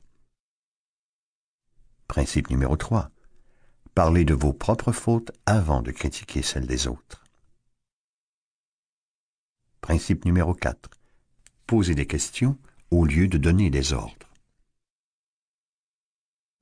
Principe numéro 5. Permettez à l'autre personne de ne pas perdre la face. Principe numéro 6. Applaudissez toute amélioration aussi minime soit-elle. Faites preuve de cordialité en témoignant votre approbation et de générosité dans votre façon de complimenter. Principe numéro 7. Donnez à l'autre personne une réputation si enviable qu'elle ne pourra qu'agir en conséquence pour y faire honneur. Principe numéro 8. N'oubliez pas d'être prodigue dans vos encouragements. Faites en sorte que la faute semble facile à corriger. Et finalement, principe numéro 9, faites en sorte que les gens éprouvent du bonheur en faisant ce que vous désirez qu'ils fassent.